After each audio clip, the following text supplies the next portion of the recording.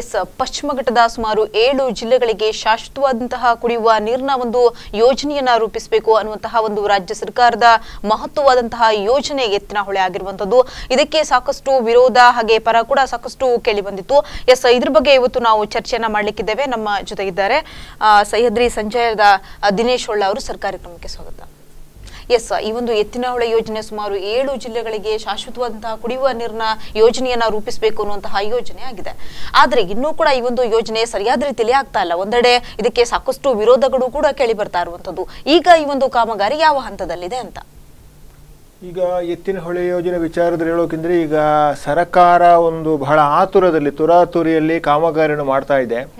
ಕಾಮಗಾರಿ ಮಾಡಿದಂಥ ಅಲ್ಲಿನ ವ್ಯವಸ್ಥೆಗಳನ್ನು ನೋಡಿದರೆ ಏನೋ ಒಂದು ಆಸಕ್ತಿಯಲ್ಲಿ ಆದಷ್ಟು ಬೇಗನೆ ಅಂದ್ರೆ ಇನ್ನೀಗ ಒಂದು ವರ್ಷದೊಳಗೆ ಇಲ್ಲಿ ಮತದಾನ ಹತ್ತಿರ ಸರುವ ಸಮೀಪದಲ್ಲಿ ಬಯಲು ಸೀಮೆಯವರಿಗೆ ಎತ್ತಿನಹೊಳೆ ವಿಚಾರದಲ್ಲಿ ಅವರು ಆಮಿಷ ಒಡ್ಡಿ ನೀರು ಹರಿಸ್ತೇವೆ ಅಂತ ಹೇಳಿ ಆ ಮತದಾನ ಸಂದರ್ಭದಲ್ಲಿ ಮತಗಳಿಗೋಸ್ಕರ ಅಂದ್ರೆ ನಾವು ಯಾವಾಗಲೂ ಹೇಳ್ತಿದ್ದೇವೆ ಓಟು ನೋಟು ಸೀಟಿಗೋಸ್ಕರ ನೇತ್ರಾವತಿ ತಿರುವ ಯೋಜನೆ ಅಂತೇಳಿ ಇದು ಈಗ ಓಟಿನ ಹಿನ್ನೆಲೆ ದೃಷ್ಟಿಯಲ್ಲಿ ಇಟ್ಕೊಂಡು ಬಯಲು ಸೀಮೆಯವರಿಗೆ ನೀರು ಹಂಚುವ ವಿಚಾರದಲ್ಲಿ ಬಹಳ ಆತುರದಿಂದ ಕಾಮಗಾರಿ ಮಾಡ್ತಾ ಇದ್ದಾರೆ. ಈ ಎತ್ತಿನಹೊಳೆ ಯೋಜನೆ ವಿಚಾರದಲ್ಲಿ ಇದಕ್ಕೆ ಸಾಮಾಜಿಕ ಅಧ್ಯಯನ ವರದಿ ಆಗಬೇಕಿತ್ತು ಪರಿಸರ ಅಧ್ಯಯನ ಮೊದಲೇ ಆಗಿ ಪರಿಸರ ಅಧ್ಯಯನ ವರದಿ ಆಗಬೇಕಿತ್ತು. ಅಲ್ಲಿ ನೀರು ಲಭ್ಯವಾ? ನೀರು ಸಾಕಷ್ಟು ಲಭಿಸಬಹುದಾ ಅದನ್ನು ತಿರುವು ಮಾಡಬಹುದಾ ಅಂತೇಳಿ ಅಧ್ಯಯನ ಆಗಬೇಕಿತ್ತು. ಯಾವೊಂದು ಅಧ್ಯಯನವನ್ನು ಮಾಡದೆ ಇದು ಕುಡಿಯುವ ನೀರಿನ ಯೋಜನೆ ಅಂತ ನೆಪ ಹೇಳಿ. ಅಂದ್ರೆ ಕುಡಿಯುವ ನೀರಿನ ಯೋಜನೆ ಹೇಳಿದುಕೊಂಡು ಇದಕ್ಕೆಲ್ಲವೂ ಅಭಜಿತ. ಅಂದ್ರೆ ಯಾವುದೇ ಸಮಸ್ಯೆಗಳು ಬರಬಾರದು ಬರ್- ಬರುವಂತಿಲ್ಲ ಅಂತ ಹೇಳ್ಕೊಂಡು ಬಹಳ ಆತುರದಲ್ಲಿ ಇವತ್ತು ಮಾಡ್ತಾ ಇದ್ದಾರೆ. ಅಲ್ಲಿ ಈಗಿನ ನೀರಿನ ಲಭ್ಯತೆಯ ಪ್ರಕಾರ ಇಪ್ಪತ್ನಾಲ್ಕು ಟಿ ಎಂ ಸಿ ಬಿಟ್ಟು ಒಂದು ಆರರಿಂದ ಐದು ಟಿ ಎಂ ಸಿ ನೀರು ಸಿಗೋದ ಖಾತ್ರಿ ಇಲ್ಲ ಅಲ್ಲಿ.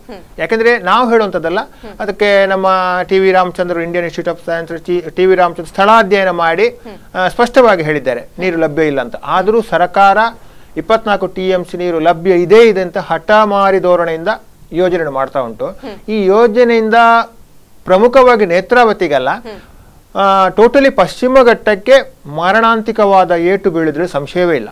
ಯಾಕೆಂದ್ರೆ ಒಂದು ಎತ್ತಿನ ಹೊಳೆ ಅಂತ ಹೇಳಿದ್ರೆ ಅದು ನೇತ್ರಾವತಿಯ ಒಂದು ಪ್ರಮುಖ ಉಪನದಿಯಾಗಿರುವ ಕೆಂಪು ಹೊಳೆಯ ಒಂದು ಭಾಗ. ಇವತ್ತು ನಮ್ಮ ಶರೀರದಲ್ಲಿ ಹೇಗೆ ನರನಾಡಿಗಳು ಒಂದು ವ್ಯವಸ್ಥೆ ರೂಪದಲ್ಲಿ ನಮ್ಮ ಮೆದುಳಿಗೆ ಸಂಪರ್ಕ ಇದೆಯೋ ಹಾಗೆ ಇವತ್ತು ನದಿ ಮೂಲದ ಒಂದು ನದಿಯನ್ನು ಬಲಾತ್ಕಾರವಾಗಿ ತಿರುವು ಮಾಡಿದ್ರೆ ಅಲ್ಲಿರುವ ಹಸಿರು ಪ್ರದೇಶಕ್ಕೆ, ಕಾಡಿಗೆ, ಪರಿಸರಕ್ಕೆ ಮತ್ತು ನದಿ ಮೂಲ ಇರುವ ಶೋಲಾರಣ್ಯಕ್ಕೆ, ಹುಲ್ಲುಗಾವಲುಗಳಿಗೆ ಆ ವ್ಯವಸ್ಥೆಯನ್ನು ಕೆಡವುವಂತ ಯೋಜನೆ ಮಾಡಿ, ಇದು ಕೊನೆಗೆ ಬಯಲು ಸೀಮೆಯವರಿಗೂ ನೀರಿಲ್ಲ, ಮಲೆನಾಡಿನವರಿಗೂ ನೀರಿಲ್ಲ, ಕರಾವಳಿಯವರಿಗೂ ನೀರಿಲ್ಲ. ಈ ಯೋಜನೆ ಇಪ್ಪತ್ನಾಲ್ಕು ಸಾವಿರ ಕೋಟಿಯಲ್ಲಿ ನೇತ್ರಾವತಿ ಅಂತ ಒಂದು ಕರಾವಳಿಯ ಪ್ರಮುಖ ನದಿಯೇ ಬತ್ತಿ ಹೋಗುವಂತ ಸಾಧ್ಯತೆ ಭವಿಷ್ಯದಲ್ಲಿ ಇದೆ. ಈ ಒಂದು ಅಪಾಯವನ್ನು ನಮ್ಮ ಸರ್ಕಾರ ಮಾಡ್ತಾ ಇದೆ. ಮತ್ತು ದಕ್ಷಿಣ ಕನ್ನಡ ಜಿಲ್ಲೆಯವರ ಮೇಲೆ ಒಂಥರ ದಬ್ಬಾಳಿಕೆ ಅಂತ ಹೇಳ್ಬೋದು ಒಂದು ದೌರ್ಜನ್ಯ ಮಾಡಿ ಈ ಕಾಮಗಾರಿಯನ್ನು ಮಾಡ್ತಾ ಇದ್ದಾರೆ. ಯಾಕಂದ್ರೆ ಸಾಕಷ್ಟು ವಿರೋಧಗಳು ಸಾಕಷ್ಟು ಪ್ರತಿಭಟನೆಗಳು ಬಂದಂತ ಸಂದರ್ಭದಲ್ಲಿಯೂ ಸರ್ಕಾರ ಇದನ್ನು ತಿರಸ್ಕಾರ ಮಾಡಿ ನಾವು ಮಾಡಿಯೇ ಶುದ್ಧ ನೀರು ಲಭ್ಯ ಅಂತ ಹೇಳಿ ಸುಳ್ಳು ವರದಿಗಳನ್ನು ಸೃಷ್ಟಿಸಿ ಇವತ್ತು ಪಶ್ಚಿಮ ಘಟ್ಟವನ್ನೇ ನಾಶ ಮಾಡಲಿಕ್ಕೆ ಹೊರಟಿದೆ. ಹೌದು. ಎಸ್, ನಾವು ಕಳೆದ ಒಂದು ಎರಡು ವರ್ಷಗಳಿಂದ ಗಮನಿಸ್ತಾ ಹೋಗೋದಾದ್ರೆ, ಅಥವಾ ಈ ವರ್ಷ ನಾವು ತೆಕ್ಕೊಳ್ಳೋದಾದ್ರೆ, ಈ ಒಂದು ಮಂಗಳೂರಿನಲ್ಲಿ ಸಾಕಷ್ಟು ಸಾಮಾನ್ಯವಾಗಿ ಗಮನಿಸೋದಾದ್ರೆ ಕುಡಿಲಿಕ್ಕೆ ನೀರಿಲ್ಲ. ಅಂತ ಒಂದು ಸಂದರ್ಭದಲ್ಲಿ ನಾವು ತುಂಬೆ ಡ್ಯಾಮ್ ಇಂದ ಬೆಂಟನ್ ಡ್ಯಾಮ್ ಇಂದ ಇಲ್ಲಿ ನೀರನ್ನ ತರಿಸ್ಕೊಳ್ತಾ ಇದ್ದೇವೆ. ಹಾಗಾಗಿ ಇದೀಗ ಎತ್ತಿನಹೊಳೆ ಯೋಜನೆ ಮೂಲಕ ನೀರನ್ನ ಹರಿಸಲಿಕ್ಕೆ ಸಾಧ್ಯ ಆಗ್ತದೆ? ಅಥವಾ ನಮಗೆ ನೀರಿನ ಪ್ರಮಾಣ ಸಾಕ ಅಂತ? ಇಲ್ಲ ನೋಡಿ, ನಾವು ಕಳೆದ ಮಳೆಗಾಲದಲ್ಲಿ ನಮ್ಮ ಸಹ್ಯಾದ್ರಿ ಸಂಚಯದವರು ಚಾರಣ ಮುಖಾಂತರ ಈ ಯೋಜನಾ ವ್ಯಾಪ್ತಿ ಪ್ರದೇಶ ನದಿ ಮೂಲ ಇರುವಂತ ಹಳ್ಳಿಗಳಿಗೆ ಕಾಡುಗಳಿಗೆ ಹೋಗಿದ್ದೇವೆ.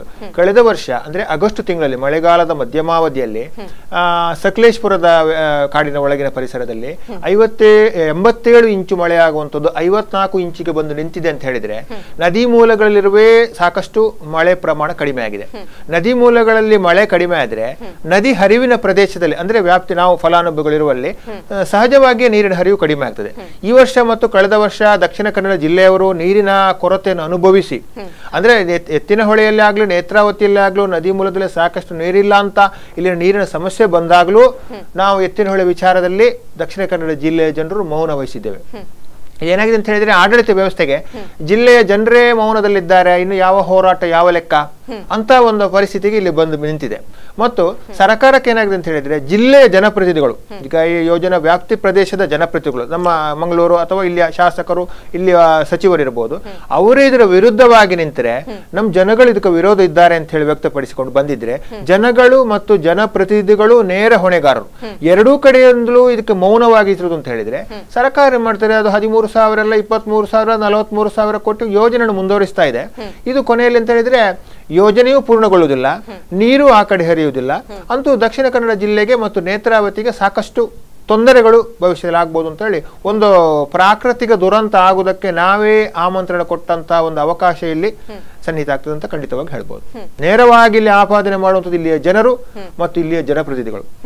ಈಗ ಕಾವೇರಿ ವಿಚಾರದಲ್ಲಿ ಅಥವಾ ಕಳಸಾ ಬಂಡೂರಿ ವಿಚಾರದಲ್ಲಿ ಆ ವ್ಯಾಪ್ತಿ ಪ್ರದೇಶದ ಜನರು ಈಗ ಮಂಡ್ಯ ಮೈಸೂರಿನ ಜನರು ನಮ್ಮ ನೀರು ನಮ್ಮ ಭವಿಷ್ಯದ ಹಕ್ಕು ನಮ್ಮ ನದಿಯ ನೀರು ಇನ್ನೊಂದು ಕಡೆ ಹೋಗೋದ್ರಲ್ಲಿ ಹೋರಾಟಗಳು ಸಾಕಷ್ಟು ಪ್ರತಿಭಟನೆಗಳು ಮಾಡ್ತಾ ಇದ್ದಾರೆ ನಮ್ಮ ದಕ್ಷಿಣ ಕನ್ನಡ ಜಿಲ್ಲೆಯ ಜನರಿಗೆ ಇನ್ನೂ ಏನಾಗಿದೆ ಅಂತ ಹೇಳಿದ್ರೆ ಎಲ್ಲೋ ಏಪ್ರಿಲ್ ಮೇ ತಿಂಗಳಲ್ಲಿ ಸ್ವಲ್ಪ ಮಳೆಯ ಸಮ ನೀರಿನ ಸಮಸ್ಯೆ ಬಂದಾಗ ಇವರು ನೀರು ಖರೀದಿ ಖರೀದಿ ಮಾಡಿಯಾ?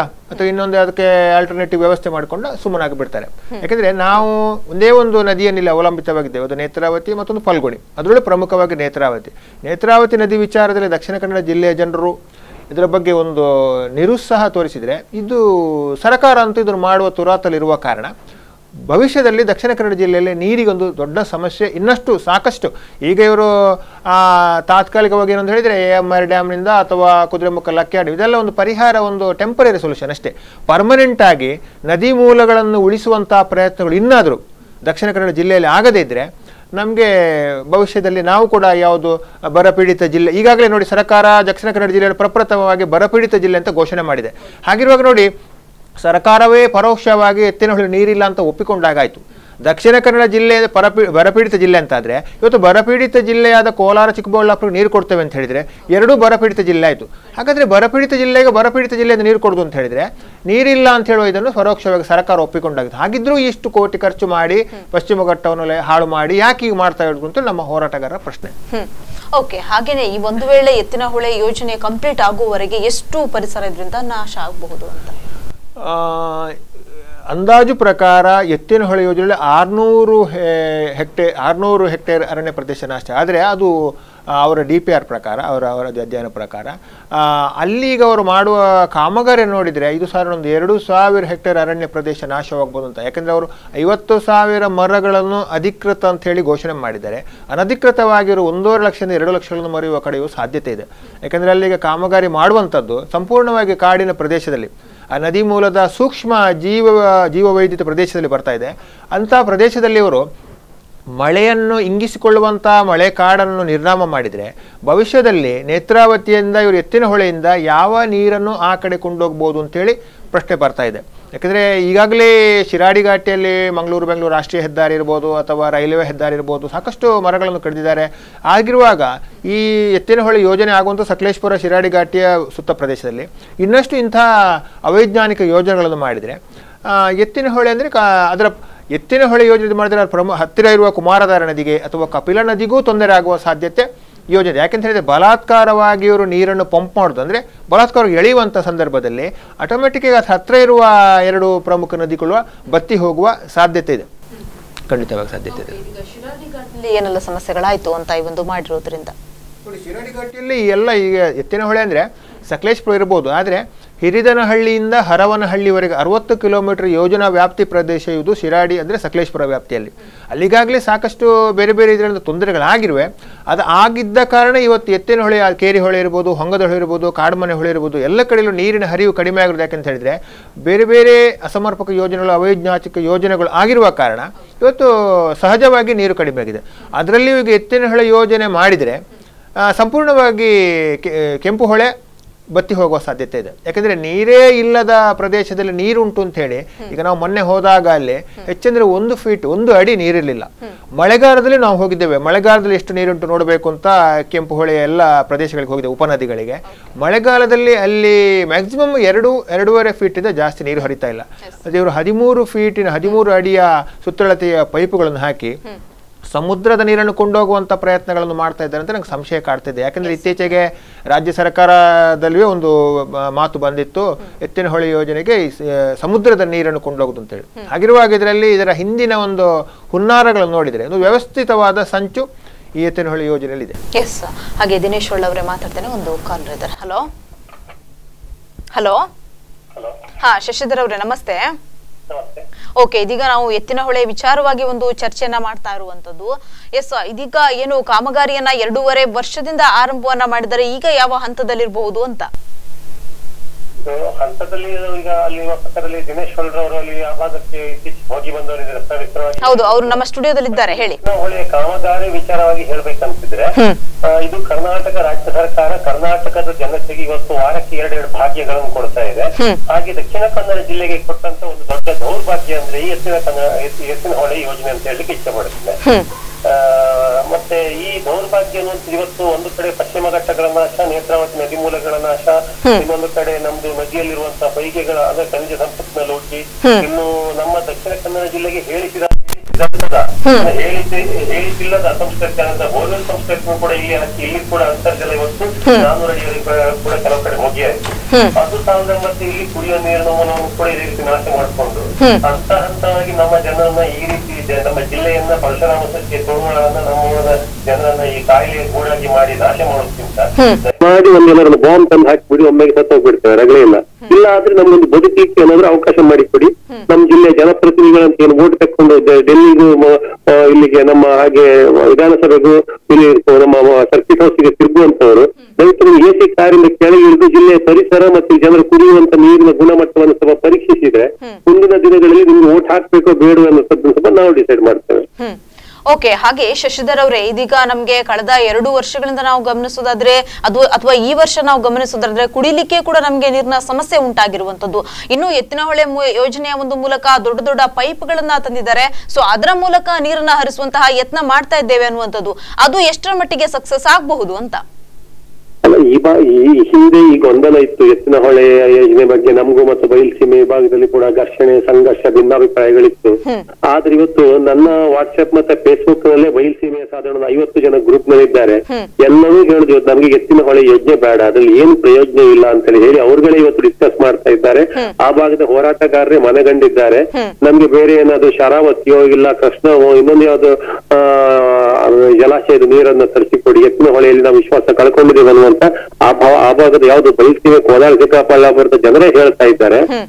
ಯಾವ ಭಾಗದ ನೀರಿನ ಭವನೆ ಇರ್ತಕ್ಕಂಥ ಜನರು ಜನರೇ ಇವತ್ತು ಎತ್ತಿನ ಹೊಳೆ ಯೋಜನೆ ಬೇಡ ಅಂತ ಹೇಳ್ತಿರುವಾಗ ಯೋಜನೆ ಬೇಕಂತ ಹೇಳುವವರು ನಮ್ಮ ರಾಜಕಾರಣಿಗಳು. ಅಂದ್ರೆ ಆ ಯೋಜನೆ ಹೆಸರಲ್ಲಿ ಹಣ ಲೂಟಿ ಮಾಡ್ಲಿಕ್ಕೆ ಆಗತ್ತೆ ಇಷ್ಟು ದುಡ್ಡು ತಿನ್ಬಹುದು ಸಾರ್ವಜನಿಕ ತೆರಿಗೆ ಹಣ ಅಂತ ಹೇಳಿ ಈ ಕೆಲವೊಂದು ನೀರಾವರಿ ಇಲಾಖೆಯ ತಲೆಕೆಟ್ಟ ಹುಚ್ಚು ಅಧಿಕಾರಿಗಳನ್ನ ಇಟ್ಕೊಂಡು ನಮ್ಮ ಈ ರಾಜಕಾರಣಿಗಳನ್ನಿಸ್ಕೊಂಡವರು ತಮ್ಮ ಈ ಹಣ ಹಣ ಬಾಕತನಕ್ಕೆ ಹ್ಮ್. ಈ ಒಂದು ಯೋಜನೆಯನ್ನ ಮುಂದುವರಿಸಿಕೊಂಡು ಹೋಗ್ತಾ ಇದ್ದಾರೆ. ಎಸ್ ಶಶಿಧರ್ ಅವರೇ ಧನ್ಯವಾದ ನಮ್ಮ ಜೊತೆ ಮಾತಾಡಿದ್ದಕ್ಕೆ. ಎಸ್ ಥ್ಯಾಂಕ್ ಯು ಹಾಗೆ ದಿನೇಶ್ ಅವರೇ ಇವರು ಕೂಡ ಶಶಿಧರ್ ಅವರು ಹೇಳಿದ್ರು ಈ ಒಂದು ಎತ್ತಿನ ಹೊಳೆ ಯೋಜನೆಯಿಂದ ಕೆಲವೊಂದಿಷ್ಟು ಲಾಭ ಬರುತ್ತೆ ಆ ನಿಟ್ಟಿನಲ್ಲಿ ಅವರು ತೆಗೆದುಕೊಳ್ತಾ ಇದ್ದಾರೆ ಅಂತ. ಯಾಕಂತ ಹೇಳಿದ್ರೆ ನಾವು ಸಾಕಷ್ಟು ವರ್ಷಗಳಿಂದ ಗಮನಿಸ್ತಾ ಇದ್ದೇವೆ ಇದಕ್ಕೆ ಸಾಕಷ್ಟು ವಿರೋಧ ಕೇಳಿ ಬರ್ತಾನೆ ಇರುವಂತದ್ದು ಎತ್ತಿನ ಹೊಳೆ ಯೋಜನೆ ಬೇಡ ಅನ್ನುವಂತಹ ನಿಟ್ಟಿನಲ್ಲಿ. ಆದ್ರೂ ಕೂಡ ಇನ್ನೂ ಕಾಮಗಾರಿಯನ್ನ ಆರಂಭಿಸ್ತಿದ್ದಾರೆ. ಯಾಕೆ ಅಂತ? ಈಗ ಎತ್ತಿನಹೊಳೆ ಯೋಜನೆ ಅಂತ ಹೇಳಿದ್ರೆ ಬಯಲುಸೀಮೆ ಅಂದ್ರೆ ಕೋಲಾರ ಚಿಕ್ಕಬಳ್ಳಾಪುರ ರಾಮನಗರ ಬೆಂಗಳೂರು ಗ್ರಾಮಾಂತರ ನೀರು ಕುಡಿಯುವಂತ ಅಂತ ಹೇಳಿದ್ರು. ಯಾಕೆ ಈ ಯೋಜನೆ ಸೃಷ್ಟಿ ಆಯಿತು ಅಂತ ಹೇಳಿದ್ರೆ ಹಲವಾರು ವರ್ಷಗಳ ಹಿಂದೆ ಅಂದ್ರೆ ಒಂದು ಹದಿನೈದು ಹದಿನಾರು ವರ್ಷಗಳ ಹಿಂದೆ ಡಾಕ್ಟರ್ ಜಿ ಎಸ್ ಪರಮಶಿವಯ್ಯ ಅಂತ ಒಬ್ಬರಿದ್ದರು ಅವರು ನೀರಾವರಿ ತಜ್ಞರು. ಅವರಲ್ಲಿ ನಮ್ಮ ರಾಜ್ಯ ಸರ್ಕಾರ ಏನು ಬೇಡಿಕೆ ಇಟ್ಟಿತ್ತು ಅಂತ ಹೇಳಿದ್ರೆ ಆ, ಬಯಲು ಸೀಮೆಯಲ್ಲಿ ಕುಡಿಯುವ ನೀರಿನ ಯೋಜನೆಗೆ ಸಮಸ್ಯೆ ಇದೆ. ಇದಕ್ಕೆ ಪರಿಹಾರ ಏನು ಅಂತೇಳಿ ಆಗ ಏನಾಗಿದೆ ಅಂತ ಹೇಳಿದ್ರೆ ರಾಜ್ಯದ ಎಲ್ಲ ನದಿಗಳಲ್ಲೂ ನೀರಾವರಿ ಯೋಜನೆಯ ಒಂದು ಅಂಶಗಳು ಕಂಡು ಬಂದ ಕಾರಣ ಅಂದರೆ ಶರಾವತಿ ಇರ್ಬೋದು ಹೇಮಾವತಿ ಇರ್ಬೋದು ಎಲ್ಲ ನದಿಗಳಿಗೆ ಅಣೆಕಟ್ಟು ಕಟ್ಟು ನೀರಾವರಿ ವ್ಯವಸ್ಥೆಗಳಾಗಿದೆ. ಬಾಕಿ ಉಳಿದು ಒಂದು ನೇತ್ರಾವತಿ. ನೇತ್ರಾವತಿ ತಿರುವು ಮಾಡ್ಬೋದು ಅಂತೇಳಿ ಪರಮಶಿವನವರು ವರದಿ ಕೊಟ್ಟಿದ್ರು. ಎರಡು ಸಾವಿರದ ಒಂದರಲ್ಲಿ ತೊಂಬತ್ತೇಳು ಟಿ ಎಂ ಸಿ ನೀರನ್ನು ಬಯಲುಸೀಮೆಗೆ ಹರಿಸೋದು ಅಂತೇಳಿ ಅದೇನಾಯ್ತು ಅಂತ ಹೇಳಿದ್ರೆ ಮತ್ತೆ ಸರ್ಕಾರ ಬದಲಾವಣೆ ಆಯಿತು. ತಾಂತ್ರಿಕವಾಗಿ ಇದು ಆಗುವಂಥದ್ದೆಲ್ಲ ಸಾಧ್ಯತೆ ಇಲ್ಲ ಅಂತ ಹೇಳಿ ಅದನ್ನು ಎರಡು ಸಾವಿರದ ಎಂಟರಲ್ಲಿ ಪಶ್ಚಿಮ ವಾಹಿನಿ ಯೋಜನೆ ಅಂತ ಮಾಡಿದ್ರು. ಆಗಲೂ ಅದು ಮುಂದುವರಿಲಿಲ್ಲ. ಎರಡು ಸಾವಿರದ ಹದಿಮೂರನೇ ಇಸವಿಯಲ್ಲಿ ನಮ್ಮ ಪುತ್ತೂರಿನ ಡಿ ವಿ ಸದಾನಂದ ಗೌಡರು ಮುಖ್ಯಮಂತ್ರಿ ಆಗಿದ್ದಾಗ ಅದರ ಒಂದು ಭಾಗವನ್ನು ತಿರುವು ಮಾಡೋದು. ಅಂದ್ರೆ ನೇತ್ರಾವತಿನ ತಿರುವು ಮಾಡೋದಲ್ಲ ನೇತ್ರಾವತಿ ಒಂದು ಉಪನದಿಯನ್ನು ತಿರುವು ಮಾಡೋದು ಅಂತ ಹೇಳಿ ಯೋಜನೆಯನ್ನು ಹೆಸರು ಚೇಂಜ್ ಮಾಡಿ ಎತ್ತಿನಹೊಳೆ ಯೋಜನೆ ಅಂತ ಮಾಡಿದರು. ಆಗಲೂ ಬಯಲುಸೀಮೆಯವರಿಗೊಂದು ಇದಿತ್ತು, ಭರವಸೆ ಇತ್ತು. ಎತ್ತಿನಹೊಳೆ ಯೋಜನೆ ನಮಗೆ ಬಂದರೆ ನಮಗೆ ನೀರಾವರಿ, ನಮಗೆ ಬೇಕಾದಷ್ಟು ನೀರು ಲಭ್ಯ ಆಗ್ಬೋದು, ಕೃಷಿ ಮತ್ತು ಕುಡಿಯಲಿಕ್ಕೆ ಸಿಗ್ಬೋದು ಅಂತ ಹೇಳಿ ಅವರಿಗೊಂದು ಭರವಸೆ ಇತ್ತು. ಯಾವಾಗ ಆ ಯೋಜನೆ ಕಾಮಗಾರಿ ಕುಂಠಿತವಾಯಿತು, ಮತ್ತೆ ಅಲ್ಲಿ ಯೋಜನಾ ವ್ಯಾಪ್ತಿ ಪ್ರದೇಶ ನೀರಿಲ್ಲ ಅಂತೇಳಿ ಆದ ಕೂಡಲೇ, ಇವತ್ತು ಶಶಿರ ಶೆಟ್ಟರ್ ಹೇಳಿದಾಗ ಅಲ್ಲಿಯ ಯೋಜನಾ ವ್ಯಾಪ್ತಿ ಪ್ರದೇಶದವರು ಕೂಡ ಆ ಪರಿಸರಕ್ಕೆ ಬಂದು ನೋಡಿದ್ರು. ಅವರಿಗೆ ಅನುಭವ ಆಯ್ತು. ಅಂದ್ರೆ ಈ ಒಂದು ಒಂದು ಬೋಗಸ್ ಯೋಜನೆಯನ್ನು ನಮ್ಗೆ ತೋರಿಸ್ತಾ ಇದ್ದಾರೆ. ಈ ಯೋಜನೆ ಮುಖಾಂತರ ಜನಪ್ರತಿನಿಧಿಗಳು, ಸರ್ಕಾರ ಹಣ ಮಾಡುವ ಷಡ್ಯಂತ್ರ ಇದೆ ಅಂತೇಳಿ ಅವರಿಗೂ ಅರ್ಥ ಆಗಿದೆ. ಇವತ್ತು ಸರ್ಕಾರ ಯಾವ ಬರಪೀಡಿತ ಜಿಲ್ಲೆ ಅಂತ ಹೇಳ್ತಾ ಉಂಟು, ಕೋಲಾರ, ಚಿಕ್ಕಬಳ್ಳಾಪುರ, ಅವರೇ ಇದನ್ನು ವಿರೋಧಿಸುತ್ತಿದ್ದಾರೆ ಅಂತ ಹೇಳುವಾಗ, ನೋಡಿ, ಒಂದು ಕಡೆಯಲ್ಲಿ ದಕ್ಷಿಣ ಕನ್ನಡ ಜಿಲ್ಲೆ, ಕರಾವಳಿ ಜಿಲ್ಲೆ, ನೇತ್ರಾವತಿಯ ಫಲಾನುಭವಿಗಳು ಇದಕ್ಕೆ ವಿರೋಧ ಇದ್ದಾರೆ, ಮಲೆನಾಡಿನವರು ಇದಕ್ಕೆ ವಿರೋಧ ಇದ್ದಾರೆ, ಸಕಲೇಶ್ಪುರ ವ್ಯಾಪ್ತಿ ಪ್ರದೇಶದಲ್ಲಿ. ಇನ್ನು ಬಯಲುಸೀಮೆಯವರು ಇದಕ್ಕೆ ವಿರೋಧ ಇದ್ದಾರೆ ಅಂತ ಹೇಳಿದರೆ, ಆಗ ನಮ್ಮ ಪ್ರಶ್ನೆ ಈ ಯೋಜನೆ ಯಾರಿಗಾಗಿ? ಎಲ್ಲರೂ ಇದನ್ನು ವಿರೋಧಿಸುತ್ತಾರೆ ಅಂತ ಹೇಳಿದರೆ, ಹಾಗಾದರೆ ಯೋಜನೆ ಯಾರಿಗಾಗಿ? ಅಂದರೆ ಇದು ಹದಿಮೂರು ಸಾವಿರ ಕೋಟಿ ಭ್ರಷ್ಟ ಅಧಿಕಾರಿಗಳು ರಾಜಕಾರಣಿಗಳು ದುಡ್ಡು ಮಾಡುವ ಒಂದು ದೊಡ್ಡ ಸಂಚು ಇದೆ. ಅಷ್ಟೇ ಹೊರತು ಇದು ಯಾವುದೇ ನೀರಾವರಿ ಯೋಜನೆ ಅಲ್ಲ, ಅಭಿವೃದ್ಧಿ ಯೋಜನೆ ಅಲ್ಲ. ಇದು ಬಯಲು ಸೀಮೆಯವರಿಗೆ ಎಲ್ಲ ರಾಜ್ಯ ಸರ್ಕಾರ ಒಂದು ನಮ್ಮ ಮತದ ಹಿತದೃಷ್ಟಿಯಿಂದ ಅಂದರೆ ಓಟಿನ ಹಿತದೃಷ್ಟಿಯಿಂದ ಸಂಚು ಮಾಡ್ತಾ ಉಂಟು. ಅದೊಂದು ಇದು ಮಾಡಿ, ಭ್ರಷ್ಟಾಚಾರದ ಒಂದು ನೇರ ಆರೋಪ ಇದರ ಮೇಲೆ ಮಾಡ್ಬೋದು. ಈಗ ಎರಡೂವರೆ ವರ್ಷದಿಂದ ಇವರು ಕಾಮಗಾರಿಯನ್ನು ನಡೆಸ್ತಾ ಬಂದಿರುವಂತದ್ದು ಇದೀಗ ಯಾವ ಹಂತದಲ್ಲಿದೆ ಅಂತ ಕಾಮಗಾರಿ? ನಾವು ಇತ್ತೀಚೆಗೆ ಅಲ್ಲಿಗೆ ಹೋದ ಪ್ರಕಾರ ಒಟ್ಟಿಗೆ ಇದಕ್ಕೆ ಎಂಟು ಅಣೆಕಟ್ಟುಗಳಾಗಬೇಕು. ಅಂದರೆ ಕೇರಿ ಹೊಳೆ, ಹೊಂಗದ ಹೊಳೆ ಕಾಡುಮನೆ ಎಲ್ಲ ಕಡೆ ಎಂಟು ಕಡೆಯಲ್ಲಿ ಅಣೆಕಟ್ಟು ಕಟ್ಟಲಿರಬೇಕು ಒಂದು ಮೂರು ಕಡೆಯ ಅಣೆಕಟ್ಟು ಆಲ್ಮೋಸ್ಟ್ ಒಂದು ಸೆವೆಂಟಿ ಪರ್ಸೆಂಟ್ ಮುಗಿದಿದೆ. ಇನ್ನೂ ಅಣೆಕಟ್ಟು ಕಟ್ಟುಗಳಿಗಿದೆ. ಮತ್ತು ಇಲ್ಲಿ ಅಣೆಕಟ್ಟು ಕಟ್ಟಿ ಅಲ್ಲಿ ಅವರು ಅಣೆಕಟ್ಟು ಅಂತ ಹೇಳ್ತಾ ಇಲ್ಲ, ವ್ಯಾರ್ ಅಂತ ಹೇಳ್ತಾ ಇದ್ದಾರೆ. ಅದರಿಂದ ಒಂದು ಅಣೆಕಟ್ಟದ ಇನ್ನೊಂದು ಕಟ್ಟಿಗೆ ನೀರು ಸರಬರಾಜು ಆಗಬೇಕಂದ್ರೆ ಪೈಪ್ಲೈನ್ ಹಾಕಬೇಕು. ಕೆಲವು ಕಡೆ ಅರ್ಧಂಬರ್ಧ ಪೈಪ್ ಹಾಕಿದ್ದಾರೆ. ಕೆಲವು ಕಡೆ ಏನಾಗಿದೆ ಖಾಸಗಿ ಪ್ರದೇಶ, ಕೆಲವು ಕಡೆ ಅರಣ್ಯ ಪ್ರದೇಶ, ಮತ್ತು ಕೆಲವು ಕಡೆಯಲ್ಲಿ ಏನಾಗಿದೆ ಅಂತ ಹೇಳಿದರೆ, ದೊಡ್ಡ ದೊಡ್ಡ ಪ್ರಪಾತ ಕಂದರಗಳು ಬಂದ ಕಾರಣ ಅಲ್ಲಿ ಇವರೆಲ್ಲ ಕಾಮಗಾರಿಯನ್ನು ಮಾಡದೆ ಕೂತಿದ್ದಾರೆ. ಅಂದರೆ ಅಲ್ಲಿ ಎಷ್ಟು ಸಮಸ್ಯೆ ಆಗ್ತದೆ ಅಂತ ಹೇಳಿದರೆ, ಆ ಪೈಪ್ ಒಂದು ಕಡೆಯಿಂದ ಇನ್ನೊಂದು ವ್ಯಾಲಿಗೆ ಸೇರಿಸುವಾಗ ಈಗ ಅವ್ರು ಏನು ಮಾಡ್ತಾರೆ ಅಂದರೆ ಬೆಟ್ಟ ಕೊರೆದು ಆ ಮಣ್ಣನ್ನು ರಾಶಿ ಹಾಕಿ, ಆ ಮಣ್ಣಿನ ಮೇಲೆ ಪೈಪ್ಲೈನ್ ಹಾಕಿದ್ದಾರೆ. ಅದು ನೇರವಾಗಿ ಸಮಾನಾಂತರವಾಗಿಲ್ಲ. ಕೆಲವು ಕಡೆಯಲ್ಲಿ ಅಂಕುಡೊಂಕಾಗಿದೆ ಮತ್ತು ಈಗ ನಾಡ್ದು ಮಳೆ ಬರುವಾಗ ಇವರ ಕಾಮಗಾರಿಯ ಇದು ಗೊತ್ತಾಗ್ತದೆ ಏನು ಅಂತ ಹೇಳಿದರೆ. ಯಾಕೆಂತ ಹೇಳಿದರೆ ಹಾಕಿದ ಮಣ್ಣಿನ ಮೇಲೆ ಅಷ್ಟು ಬೃಹದಾಕಾರದ ಪೈಪುಗಳನ್ನು ಹಾಕಿ ಅದೀಗ ಮಣ್ಣು ಕುಸಿತಾಗಿ ಪೈಪುಗಳು ಹಾಕಿದ ಜೋಳು ಮತ್ತಷ್ಟು ಇವರ ಕಾಮಗಾರಿ ನಿಧಾನವಾಗಿ ಆಗೋ ಸಾಧ್ಯತೆ ಇದೆ. ಯಾಕೆಂತ ಹೇಳಿದರೆ ಎಲ್ಲಿ ಕೂಡ ಸಮಾನಾಂತರ ವಲಯದಲ್ಲಿ ಪೈಪ್ ಇಲ್ಲ ಅವರು ಹೇಳುವ ಪ್ರಕಾರ ಯಾಕೆಂತ ಹೇಳಿದರೆ ಒಂದು ಅಣೆಕಟ್ಟಿನಿಂದ ಇನ್ನೊಂದು ಅಣೆಕಟ್ಟಿಗೆ ನಾವು ಪಂಪ್ ಮಾಡ್ತೇವೆ. ಅಂದರೆ ಇವ್ರಿಗೆ ಆಗಲೇ ಅವರು ಡಿ ಪಿ ಆರ್ ಹಿಡಿದ ಪ್ರಕಾರ ಮುನ್ನೂರ ಎಪ್ಪತ್ತು ಮೆಗಾವ್ಯಾಟ್ ಇದಕ್ಕೆ ಎಲೆಕ್ಟ್ರಿಸಿಟಿ ಬೇಕು ಅಂತ ಹೇಳಿದ್ದಾರೆ. ನಾವು ಪಂಪ್ ಮಾಡಿಕೊಂಡಾಗ್ತದೆ ಅಂತ. ಅಂದರೆ ಪಂಪ್ ಮಾಡುವಾಗ ನಾವು ಹೇಳೋದು ಎರಡು ಒಂದು ಕೆಲವು ಕಡೆಯಲ್ಲಿ ಎರಡು ಪೈಪ್ ಹಾಕಿದ್ದಾರೆ ಕೆಲವು ನಾಲ್ಕು ಕಡೆಯಲ್ಲಿ ಹಾಕಿದ್ದಾರೆ. ನೋಡಿ ಹದಿಮೂರು ಅಡಿ ಎತ್ತರದ ಪಂಪ್ನಲ್ಲಿ ಇಷ್ಟು ನೀರು ಫೋರ್ಸಲ್ಲಿ ಬರುವಾಗ ಅಲ್ಲಿ ಆ ಮಣ್ಣಿನ ಕುಸಿತ ಆಗಿ ಈ ಯೋಜನೆ ಎಷ್ಟು ಫಲಕಾರಿ ಆಗ್ಬೋದು. ಅದು ಅಲ್ಲಿ ಹೆಬ್ಬಸಾಲೆ ಅಂತ ಉಂಟು ಅಲ್ಲಿ ದೊಡ್ಡನಾಗರ ಅಂತೇಳಿ ಅಲ್ಲಿ ನೀರು ಸ್ಟೋರೇಜ್ ಮಾಡಿ ಮತ್ತೆ ಪಂಪ್ ಇದು ಮಾಡಿ ಗ್ರಾವಿಟಿಯಿಂದ ಹೋಗ್ತದೆ ಅಂತ ಹೇಳ್ತಾ ಇದ್ದಾರೆ. ಆದರೆ ಇವರು ಯೋಜನೆ ವ್ಯಾಪ್ತಿ ಪ್ರದೇಶ ನೋಡಿದರೆ ಸಂಪೂರ್ಣವಾಗಿ ಸ್ಪಷ್ಟತೆಯಲ್ಲಿ ಕಾಣು ಬರ್ತಾ ಇಲ್ಲ. ಎಲ್ಲ ಒಟ್ಟಾರಿಗೆ ಒಂದು ಒಂದು ವರ್ಷದೊಳಗೆ ಆದಷ್ಟು ಪೈಪ್ ಹಾಕಬೇಕು, ಆದಷ್ಟು ಅಣೆಕಟ್ಟುಗಳನ್ನು ಕಟ್ಟಬೇಕು ಅಂತೇಳಿ ಮಾಡಿದ್ದಾರೆ. ಮತ್ತು ಇನ್ನೊಂದು ಇದರ ಹಿನ್ನೆಲೆ ಅಂತ ಹೇಳಿದರೆ ಇವತ್ತು ಆ ಯೋಜನೆ ವ್ಯಾಪ್ತಿ ಅಂದರೆ ಕಡಗರಹಳ್ಳಿ ಆಲುವಳ್ಳಿ ಮಾರನಹಳ್ಳಿ ಅಲ್ಲ. ಇವರು ಬಹಳ ದೊಡ್ಡ ರಸ್ತೆಗಳನ್ನು ಮಾಡ್ತಾ ಇದ್ದಾರೆ, ಕಾಂಕ್ರೀಟ್ ರಸ್ತೆಗಳನ್ನು. ಈಗ ಇವರ ಕಾಮಗಾರಿಗೆ ಬೇಕು ಅಂತ ರಸ್ತೆಗಳನ್ನು ಮಾಡೋದು ಬಿಟ್ಟು ಇವರು ಈ ಥರದ ಕ, ರಸ್ತೆಗಳು ಮಾಡ್ತಾ ಇದ್ದಾರೆ ಯಾಕೆ ಅಂತೇಳಿ ಪ್ರಶ್ನೆ ಉದ್ಭವಿಸ್ತದೆ. ಅಂದರೆ ಇದರ ಹಿಂದೆ ಬೇರೆ ಏನಾದರೂ ಯೋಜನೆ ಇದೆಯಾ? ಅದನ್ನು ಎಲ್ಲಿಯೂ ನಮಗೆ ಅವರು ಯಾವ ಜನಪ್ರತಿಗಳು ಉತ್ತರ ನೀಡ್ತಾ ಇಲ್ಲ. ನಾವು ನಮ್ಮ ಜಿಲ್ಲೆಯ ಶಾಸಕರಿಗೆ, ನಮ್ಮ ಜಿಲ್ಲೆಯ ಉಸ್ತುವಾರಿ ಸಚಿವರು, ಅರಣ್ಯ ಸಚಿವರು ನಮ್ಮ ಜಿಲ್ಲೆಯಲ್ಲೇ ಇದ್ದಾರೆ. ಅರಣ್ಯ ಸಚಿವರಿಗೆ ನೇರವಾಗಿ ಪ್ರಶ್ನೆಯನ್ನು ಕೇಳಿದ್ದೇವೆ. ಎತ್ತಿನಹೊಳೆ ಯೋಜನೆ ಇಷ್ಟು ನೀರು ಲಭ್ಯತೆ ಸಿಗ್ಬೋದಾ? ಇದು ಸಕ್ಸಸ್ ಆಗ, ಯಶಸ್ವಿ ಆಗ್ಬೋದಾ ಅಂತೇಳಿ. ಬಹಳ ಗೊಂದಲದ ಪ್ರಶ್ನೆ ಅಂತ ಹೇಳಿದ್ರೆ ಇವತ್ತು ಅರಣ್ಯ ಸಚಿವರು ಆ ಯೋಜನೆ ವ್ಯಾಪ್ತಿ ಪ್ರದೇಶಕ್ಕೆ ಹೋಗಲಿಲ್ಲ. ನೀರಾವರಿ ಸಚಿವರು ಹೋಗಲಿಲ್ಲ. ಯಾರೊಬ್ಬ ಸಚಿವರು ಹೋಗದೆ ಮುಖ್ಯಮಂತ್ರಿ ಅವರಿಗೆ ಬಿಡು, ಗೊತ್ತಿಲ್ಲ ಬಿಡಿ, ಯಾರೊಬ್ಬರು ಆ ಯೋಜನಾ ವ್ಯಾಪ್ತಿ ಪ್ರದೇಶಕ್ಕೆ ಹೋಗದೆ, ಅಲ್ಲಿಯ ಸೂಕ್ಷ್ಮ ಪರಿಸ್ಥಿತಿಯನ್ನು ಅವಲೋಕಿಸದೆ ಯೋಜನೆ ಮಾಡ್ತೇವೆ ಅಂತ ಎಲ್ಲರೂ ಇದಕ್ಕೆ ನಾವು ಜೈ ಅಂತ ಹೇಳಿ ಹೇಳ್ತಾ ಇದ್ದಾರೆ. ಅದು ಯಾಕಂತ ಹೇಳಿದ್ರೆ ನಾನು ಆ, ಮತ ಇದು ಓಟಿನ ದೃಷ್ಟಿಯಿಂದ ಮತ್ತು ಇದರಲ್ಲಿ ಬಹಳ ಒಂದು ದುಡ್ಡು ಹೊಡೆಯುವ ಸಂಚುಂಟು. ಯಾಕಂದರೆ ಕರ್ನಾಟಕ ನೀರಾವರಿ ನಿಗಮ ಈವರೆಗೆ ಮಾಡಿದ ಯಾವುದೇ ಯೋಜನೆಗಳು ಫಲಶ್ರುತಿ ಆಗಲಿಲ್ಲ ಅದು ಕಳಸ ಬಂಡೂರು ಇರ್ಬೋದು ಅಥವಾ ಇನ್ನು ವಾರಾಹಿ ಯೋಜನೆ ಇರ್ಬೋದು ಕೃಷ್ಣಾ ಮೇಲ್ದಂಡೆ ಆಲಮಟ್ಟಿ ಯೋಜನೆ ಎಲ್ಲವೂ ಹಾಗೆ ನೇತ್ರಾವತಿ ಎತ್ತಿನಹೊಳೆ ಯೋಜನೆ ಕೂಡ ಇನ್ನು ಒಂದು ಇಪ್ಪತ್ತೈದು ವರ್ಷಗಳಿಂದ ಹಣ ದೋಚುತ್ತಾ ಒಂದು ಭ್ರಷ್ಟಾಚಾರದ ದೊಡ್ಡ ಒಂದು ಕೂಪಾಗಿ ದೊಡ್ಡ ಒಂದು ತುಂಬ್ತಾ ಉಂಟು ಅಷ್ಟೇ ಹೊರತು. ಇದು ಯೋಜನೆ ಯಶಸ್ವಿ ಆಗುವಂಥದ್ದು ಖಂಡಿತ ಇಲ್ಲ.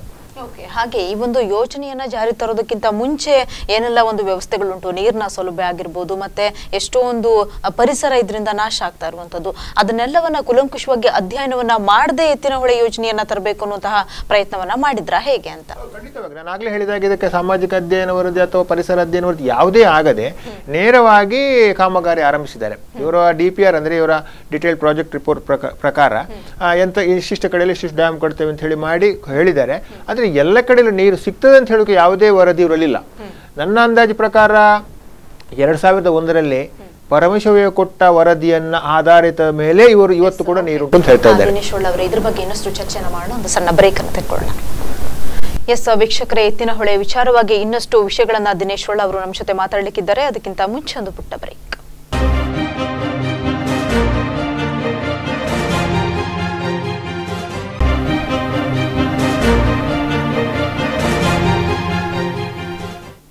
ಬ್ರೇಕ್ ನಂತರ ಮತ್ತೊಮ್ಮೆ ಪ್ರಚಲಿತಕ್ಕೆ ಸ್ವಾಗತ. ಎಸ್ ದಿನೇಶ್ ಒಳ್ಳವ್ರನ್ನ ಮತ್ತೆ ನಾವು ಕೇಳೋಣ. ಸರ್ ಇದೀಗ ಪಂಚತೀರ್ಥ ಒಂದು ರಥಯಾತ್ರೆ ಅನ್ನುವಂಥದ್ದನ್ನ ಈ ಹಿಂದೆ ಮಾಡಿದ್ರು. ಸೊ ಅದು ಎಷ್ಟು ಮಟ್ಟಿಗೆ ಸಕ್ಸಸ್ ಆಗಿತ್ತು? ಅಥವಾ ಏನಕ್ಕಾಗಿ ಅದನ್ನ ಮಾಡಿದ್ದು ಅಂತ? ನೋಡಿ ಎತ್ತಿನಹೊಳೆ ಯೋಜನೆ ವಿಚಾರದಲ್ಲಿ ಯಾವಾಗ ಸಾರ್ವಜನಿಕವಾಗಿ ಒಂದು ಯಾವುದೇ ಪ್ರತಿಫಲಾಪೇಕ್ಷೆ ಇಲ್ಲದೆ ಹೋರಾಟ ನಡೀತಾ ಇತ್ತು ಉಪ್ಪಿನಂಗಡಿಯ ರಸ್ತೆ ಅಸ್ತಕ ಇರಬಹುದು ಪಂಪೆಲ್ ಪ್ರತಿಭಟನೆ ಇರಬಹುದು ಎಲ್ಲ ಪ್ರತಿಭಟನೆಗಳು ಸೇರಿಕೊಂಡು ಹೇಳುದಿದ್ರೆ ಯೋಜನೆ ಒಂದು ವ್ಯವಸ್ಥಿತ ರೂಪದಲ್ಲಿ ಆರೋಹಣ ಆಗ್ತಾ ಇತ್ತು. ಯಾವಾಗ ಇದರಲ್ಲಿ ಜನಪ್ರತಿನಿಧಿಗಳು ಸೇರಿದ್ರೋ ಅದು ಯಾರೇ ಇರಲಿ ಬಿಜೆಪಿ ಇರಲಿ ಕಾಂಗ್ರೆಸ್ ಇರಲಿ ಪಕ್ಷದವರು ಅಂದ್ರೆ ರಾಜಕೀಯ ಪಕ್ಷ ಧರ್ಮ ಇಲ್ಲಿ ಸೇರ್ಕೊಂಡಿತ್ತೋ ಆವಾಗದಿಂದ ಈ ಹೋರಾಟ ಅವರೋಹಣ ಆಗ್ತಾ ಬಂತು ಅಂತ ನಾನು ನೇರವಾಗಿ ಹೇಳ್ತಾ ಇದ್ದೇನೆ. ಇವತ್ತು ನಮ್ಮ ಸಂಸದರು ನಳಿನ್ ಕುಮಾರ್ ಕಟೀಲ್ರವರು ಆರಂಭದಲ್ಲಿ ಪಾದಯಾತ್ರೆ ಮಾಡಿದರು ಪಂಚತೀರ್ಥ ಅಂತ ಯೋಜನೆ ಮಾಡಿದರು. ನೋಡಿ ನಾನು ಸಂಸದರ ಮೇಲೆ ಒಂದು ನೇರ ಪ್ರಶ್ನೆ ಕೇಳ್ತಾ ಇದ್ದೇನೆ. ಇವರೊಬ್ಬರು ಸಂಸದರಾಗಿ ಅವರ ಕ್ಷೇತ್ರದಲ್ಲಿ ನೀರಿನ ಸಮಸ್ಯೆಗಳ ಬಗ್ಗೆ ಸಂಸತ್ನಲ್ಲಿ ಅಂದರೆ ಅವರದೇ ಸರ್ಕಾರ ಇದೆ. ಕೇಂದ್ರ ಸರ್ಕಾರದಲ್ಲಿ ಹೋಗಿ ಇದರ ಮನವರಿಕೆ ಮಾಡಿ ಯೋಜನೆಯನ್ನು ತಡೀಬೇಕಿತ್ತೇ ಹೊರತು, ಕಾನೂನು ರೀತಿಯಲ್ಲಿ ತಡೆಯಬೇಕಿತ್ತು ಹೊರತು ಪಾದಯಾತ್ರೆ ಮಾಡೋದು, ತೀರ್ಥಯಾತ್ರೆ ಮಾಡೋದು, ಇದೆಲ್ಲ ಒಂದು ಕಾಟಾಚಾರದ ಹೋರಾಟ. ಜನಗಳ ಮನ ಪರಿವರ್ತನೆ ಅಂದರೆ ಅವರ ಅವರ ಸ್ವ ಇಚ್ಛೆಗೋಸ್ಕರ ಏನಲ್ಲಿ ಮಾಡ್ತಾ ಇದ್ದಾರೆ ಹೊರತು. ಈಗ ನಾನು ಒಂದು ಪ್ರಶ್ನೆ ಕೇಳ್ತಾ ಇದ್ದೇನೆ. ಇವರು ಪಾದಯಾತ್ರೆ ಮಾಡಿದರು, ತೀರ್ಥಯಾತ್ರೆ ಮಾಡಿದ್ರು ಎತ್ತಿನಹೊಳೆ ಯೋಜನೆ ನಿಂತಿತ್ತಾ? ಕಾಮಗಾರಿ ಬಹಳ ಆರ ಫಾಸ್ಟಲ್ಲಿ ಆಗ್ತಾ ಉಂಟು. ಯಾವುದೇ ಇವರು ಇವರು ಸಂಸದನಾಗಿ, ಇವರ ಹೋರಾಟದ ಪ್ರಯುಕ್ತದಲ್ಲಿ ಅಲ್ಲಿ ಕಾಮಗಾರಿ ನಿಲ್ಲಿಸಲಿಕ್ಕೆ ಆಗಲಿಲ್ಲ. ಯೋಜನೆಯನ್ನು ಬಿಡಿ. ಅಟ್ಲೀಸ್ಟ್ ಒಂದು ಎರಡು ವಾರ ಕಾಮಗಾರಿ ನಿಲ್ಲಿಸಲಿಕ್ಕೆ ಆಗದ ನಂತರ ಇಂತಹ ತೀರ್ಥಯಾತ್ರೆಗಳು ಇಂತಹ ಯಾತ್ರೆಗಳು ಯಾಕೆ ಅಗತ್ಯ ಇತ್ತು? ಜನಗಳಲ್ಲೂ ಇದು ಏನಾಗಿದೆ ಅಂತ ಹೇಳಿದ್ರೆ ಆರಂಭದಲ್ಲೂ ನಮ್ಮ ಸಂಸದರು ಇದರ ಪರವಾಗಿದ್ದಾರೆ, ಹೋರಾಟ ಮಾಡ್ತಿದ್ದಾರೆ, ಹೋರಾಟ ಇನ್ನಷ್ಟು ಉಗ್ರ ರೀತಿಯಲ್ಲಿ ನಡೀಬೋದು ಅಂತ ಜನಗಳ ಭರವಸೆ ಇಟ್ಕೊಂಡಿದ್ರು. ಅವಾಗ ಯಾವಾಗ ಜನಗಳಿಗೆ ಇವರು ಬರೀ ಒಂದು ತನ್ನ ಪಾಡಿಗೆ ತಾನೇನೋ ಮಾಡ್ತೇ, ನೋಡಿ ಇನ್ನೊಂದು ಹೇಳ್ತೇನೆ ಇಲ್ಲಿ. ಈಗ ನಳಿನ್ ಕುಮಾರ್ ಕಟೀಲ್ ಅವರು ಬಿಜೆಪಿ ಪಕ್ಷದಿಂದ ನಾನು ಹೋರಾಟ ಮಾಡಿದ್ದೇನೆ ಅಂತ ಆರಂಭದಲ್ಲಿ ಹೇಳ್ತಾ ಇದ್ದಾರೆ. ಇದೇ ಬಿ ಜೆ ಪಿಯ ರಾಜ್ಯದ ನಮ್ಮ ಮಾಜಿ ಮುಖ್ಯಮಂತ್ರಿ ಯಡಿಯೂರಪ್ಪನವರು ಎಲ್ಲ ಕಡೆಯಲ್ಲಿ ಹೇಳ್ತಾರೆ ದಕ್ಷಿಣ ಕನ್ನಡ ಜಿಲ್ಲೆಯಲ್ಲಿ ಒಂದು ಮಾತಾಡ್ತಾ ಇದ್ದಾರೆ. ಬಯಲುಸೀಮೆಯಲ್ಲಿ ಹೋಗಿ ಎತ್ತಿನಹಳ್ಳಿ ಯೋಜನೆ ಮಾಡಿಯೇ ಶುದ್ಧ. ಹಾಗಾದ್ರೆ ನಳಿನ್ ಕುಮಾರ್ ಕಟೀಲ್ ಯೋ ನಿಲುವು ಏನು? ಅದು ಅವರ ವೈಯಕ್ತಿಕ ಧೋರಣೆ ಹೊರತು ಪಕ್ಷದ ಧೋರಣೆ ಅಲ್ಲ. ವೈಯಕ್ತಿಕವಾಗಿ ಯೋಜನೆ ಮಾಡಲಿಕ್ಕೆ ಬಿಡೋದಿಲ್ಲ ಅಂತ ಹೇಳಿದರೆ, ಇವರು ಎಲ್ಲ ಕಡೆಯಲ್ಲೂ ಹೇಳ್ತಾ ಇದ್ದಾರೆ. ನಾನು ಇವತ್ತಿನ ಹೇಳಿದ್ರು ವಿರೋಧಿ ವಿರೋಧಿ ವಿರೋಧಿ ಅಂತ ಹೇಳ್ತಾ ಇದ್ದಾರೆ. ಆದರೆ ಇವತ್ತು ಕಾಮಗಾರಿ ಆಗಿ ಇನ್ನು ಬಹಳ ಇದರಲ್ಲಿ ವೇಗದಲ್ಲಿ ಆಗ್ತಾ ಉಂಟು ಅಂತ ಹೇಳಿದರೆ, ಹಾಗಾದರೆ ಇವರ ಹೋರಾಟಕ್ಕೆ ಯಾವ ಅರ್ಥ ಇದೆ? ಯಾವ ಸಾರ್ಥಕತೆ ಇದೆ ಅಂತೇಳಿ ಯಾಕೆಂದರೆ ಯಾವುದೇ ಪಕ್ಷದವರು ಪಕ್ಷಾತೀತವಾಗಿ, ಧರ್ಮಾತೀತವಾಗಿ, ಜಾತ್ಯಾತೀತವಾಗಿ ಹೋರಾಟ ಮಾಡಬೇಕೆ ಹೊರತು ಒಂದು ಪಕ್ಷದ ಧ್ವಜ ಹಿಡ್ಕೊಂಡು, ಒಂದು ಪಕ್ಷ ಹಿಡ್ಕೊಂಡು ಯಾತ್ರೆ ಮಾಡೋದು, ತೀರ್ಥ ತಕೊಂಡು ಹೋಗೋದು, ಅಲ್ಲಿ ಏನಾಯ್ತು? ಈಗ ತೀರ್ಥ ತಕೊಂಡು ಇವರು ಸುಬ್ರಹ್ಮಣ್ಯದಿಂದ ಕಟೀಲಿಗೆ ತೀರ್ಥ ತಕೊಂಡು ಎತ್ತಿನ ಹೊಳೆ ಯೋಜನೆಗೂ ತೀರ್ಥಯಾತ್ರೆಗೂ ಏನು ಸಂಬಂಧ? ಜನಗಳು ಕೂಡ ಇದು ಮಾಡ್ತಾರೆ. ಯಾಕಂದ್ರೆ ನಾವು ಈ ಯೋಜನೆ ಬದಿಗೆ ಇವತ್ತು ಬೀದಿ ಹೋರಾಟಕ್ಕೆ ಜನ ಬರದೇ ಇರಬಹುದು ಆದರೆ ನಾವು ಕಳೆದ ಪಂಚಾಯತ್ ಚುನಾವಣೆ ಸಂದರ್ಭದಲ್ಲಿ ನಾವು ಸಹ್ಯಾದ್ರಿ ಸಂಚಯದವರು ನಾವೊಂದು ಅಭಿಯಾನ ಮಾಡಿದ್ದೇವೆ. ಯಾಕಂದ್ರೆ ಜನಗಳ ಇದು ಏನು ಇದು ಎತ್ತಿನಹೊಳೆ ಯೋಜನೆ ವಿಚಾರದಲ್ಲಿ ಏನು ಅಭಿಪ್ರಾಯ ಉಂಟು ತಿಳ್ಕೊಳ್ಳಿಕ್ಕೋಸ್ಕರ ನಾವೊಂದು ನೋಟಾ ಅಭಿಯಾನ ಅಂತ ಮಾಡಿದ್ದೇವೆ. ಅಂದ್ರೆ ನೋಟಾ ಅಂದ್ರೆ ಕಾಂಗ್ರೆಸ್ನವರು, ಬಿಜೆಪಿಯವರು ಎರಡೂ ಪಕ್ಷದವರು ಇದರಲ್ಲಿ ಅಪರಾಧಿಗಳು. ಎತ್ತಿನಹೊಳೆ ವಿಚಾರದಲ್ಲಿ ಎರಡು ಪಕ್ಷಗಳು ಅಪರಾಧಿಗಳು. ಹಾಗೆ ಜನಗಳು ಇದರ ರೀತಿ ಯಾವ ಧೋರಣೆ ಇಟ್ಕೊಳ್ತಾರೆ ಅಂತ ಹೇಳಿ ನೋಟ ಅಂದ್ರೆ ಎರಡು ಪಕ್ಷಕ್ಕೆ ಓಟ್ ಹಾಕಬೇಡಿ ನೋಟ ಹಾಕಿ ಅಂತೇಳಿ. ನಾವು ನಮ್ಮ ಅಭಿಯಾನಕ್ಕೆ ಆಗಿ ಇಪ್ಪತ್ತೆಂಟು ಸಾವಿರ ಓಟು ಲಭಿಸಿದೆ. ನಾನು ಈ ಇವತ್ತಿಗೂ ಇಲ್ಲಿಯ ಜನಗಳಿಗೆ ಹೇಳುದು ಅಂತ ಹೇಳಿದ್ರೆ ಇನ್ನು ಒಂದು ವರ್ಷದಲ್ಲೇ ವಿಧಾನಸಭೆ ಚುನಾವಣೆ ಬರ್ತಾ ಇದೆ. ಚುನಾವಣೆ ಸಂದರ್ಭದಲ್ಲಿ ಎತ್ತಿನಹೊಳೆ ವಿಚಾರದಲ್ಲಿ Congress BJP J D S ಎಲ್ಲ ಪಕ್ಷಗಳನ್ನು ಉದ್ದ ಹಾಕಿ ಬಿಸಾಡಿ ಇವರಿಗೆ ಯಾವ ಪಕ್ಷಗಳಲ್ಲಿ ಓಟ್ ಹಾಕಬೇಡಿ? ಯಾರು ಎತ್ತಿನಹೊಳೆಯ ಯೋಜನೆ ಬಗ್ಗೆ ಇದು ಯಾರು ಪಕ್ಷಾತೀತವಾಗಿ ನಿಲ್ತಾರೆ ನೋಡಿ, ಪಕ್ಷೇತರವಾಗಿ ನಿಲ್ತಾರೆ, ಅಂಥವರಿಗೆ ಓಟ್ ಕೊಡಿ ಅಂತೇಳಿ. ಯಾಕಂದ್ರೆ ಎರಡೂ ಪಕ್ಷಗಳು ಬಂದರೂ ನಾಳೆ ಎತ್ತಿನಹೊಳೆ ವಿಚಾರದಲ್ಲಿ ಅವರು ಅವರು ಪಕ್ಷ ಒಂದೇ ಅಲ್ಲಿ. ಅಲ್ಲಿ ಎರಡು ಬಿ ಜೆ ಪಿಯು ಕಾಂಗ್ರೆಸ್ ಎಲ್ಲರೂ ಇನ್ವಾಲ್ವ್ ಆಗಿ. ಯಾಕಂದ್ರೆ ನಮ್ಮ ಜಿಲ್ಲೆಯ ವೀರಪ್ಪ ಮೊಯ್ಲಿ, ನಮ್ಮ ಜಿಲ್ಲೆಯ ಸದಾನಂದ ಗೌಡ್ರೆ ಇದರ ರೂವಾರಿಗಳು.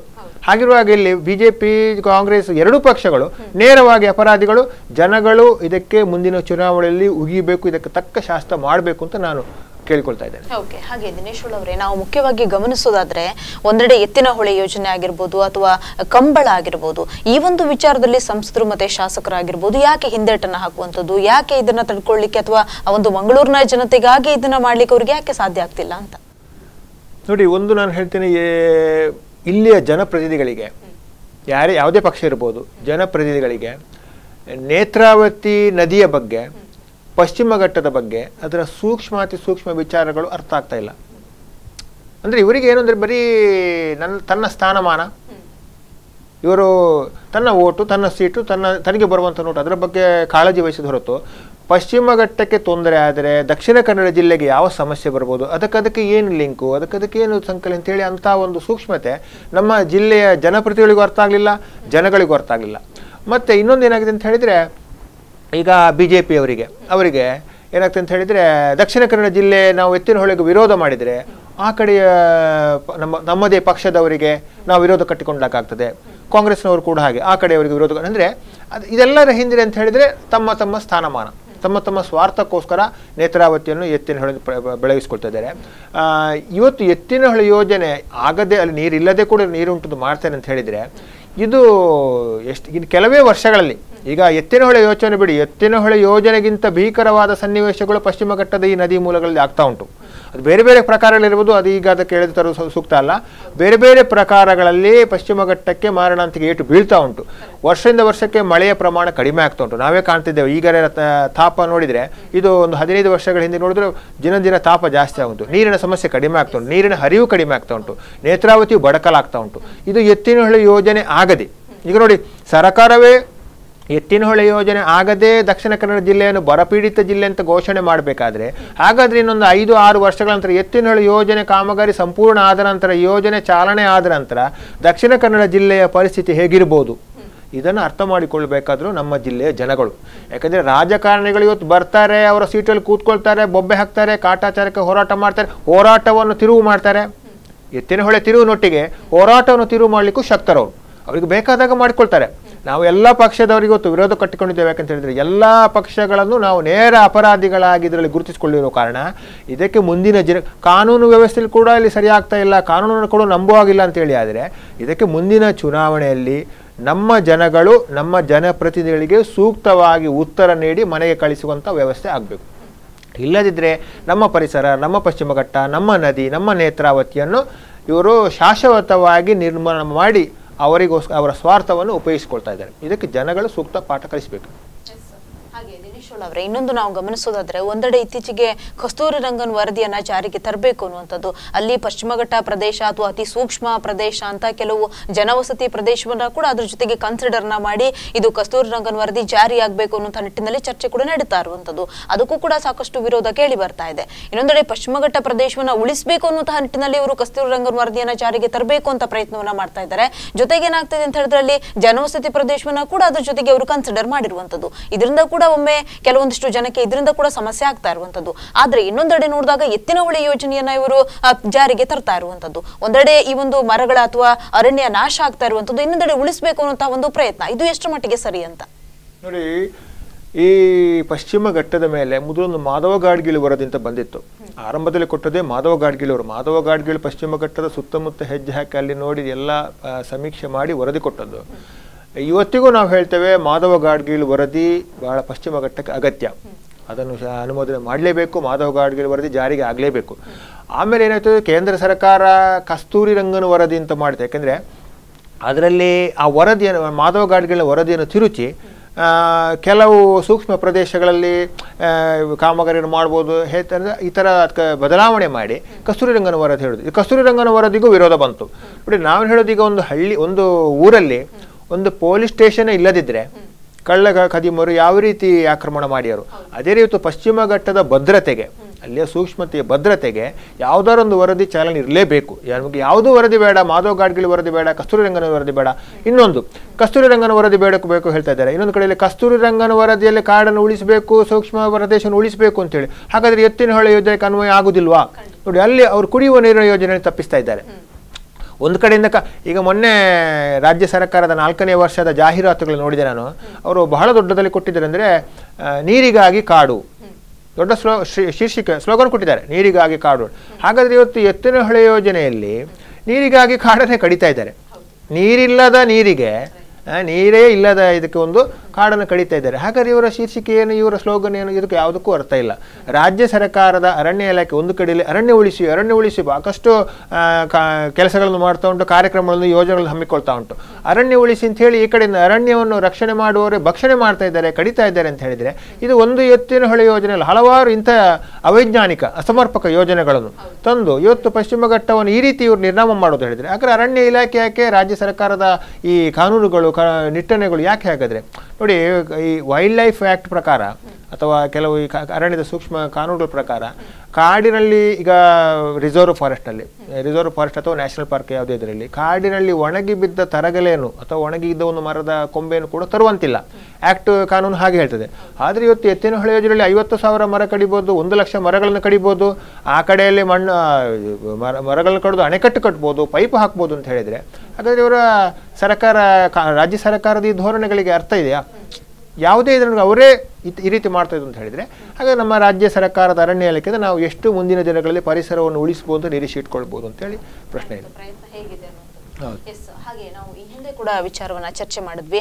ಪರಿಸರ ಅಥವಾ ಈ ಒಂದು ಎತ್ತಿನ ಹೊಳೆ ಯೋಜನೆಯನ್ನ ಜಾರಿಗೆ ತರಬೇಕು ಅನ್ನುವಂತಹ ನಿಟ್ಟಿದ್ರೆ ಮೊದಲೇ ಕೂಡ ಸಾಕಷ್ಟು ಏನಾದ್ರೂ ನೀರಿನ ಒಂದು ವ್ಯವಸ್ಥೆ ಆಗಿರ್ಬೋದು, ಪರಿಸರದ ಒಂದು ಸಂರಕ್ಷಣೆ ಆಗಿರ್ಬೋದು, ಅದರ ಬಗ್ಗೆ ಅವರು ಗಮನ ಹರಿಸದೆ ಅಥವಾ ಕುಲಂಕುಷವಾಗಿ ಅಧ್ಯಯನವನ್ನ ಮಾಡದೆ ಈ ಯೋಜನೆಯನ್ನ ಹೇಗೆ ತರಲಿಕ್ಕೆ ಸಾಧ್ಯ ಅನ್ನುವಂಥ ವಿಚಾರವಾಗಿ ನಿಮ್ಮ ಹತ್ರ ಕೇಳ್ತಾ ಇದ್ದೆ ನಾನು.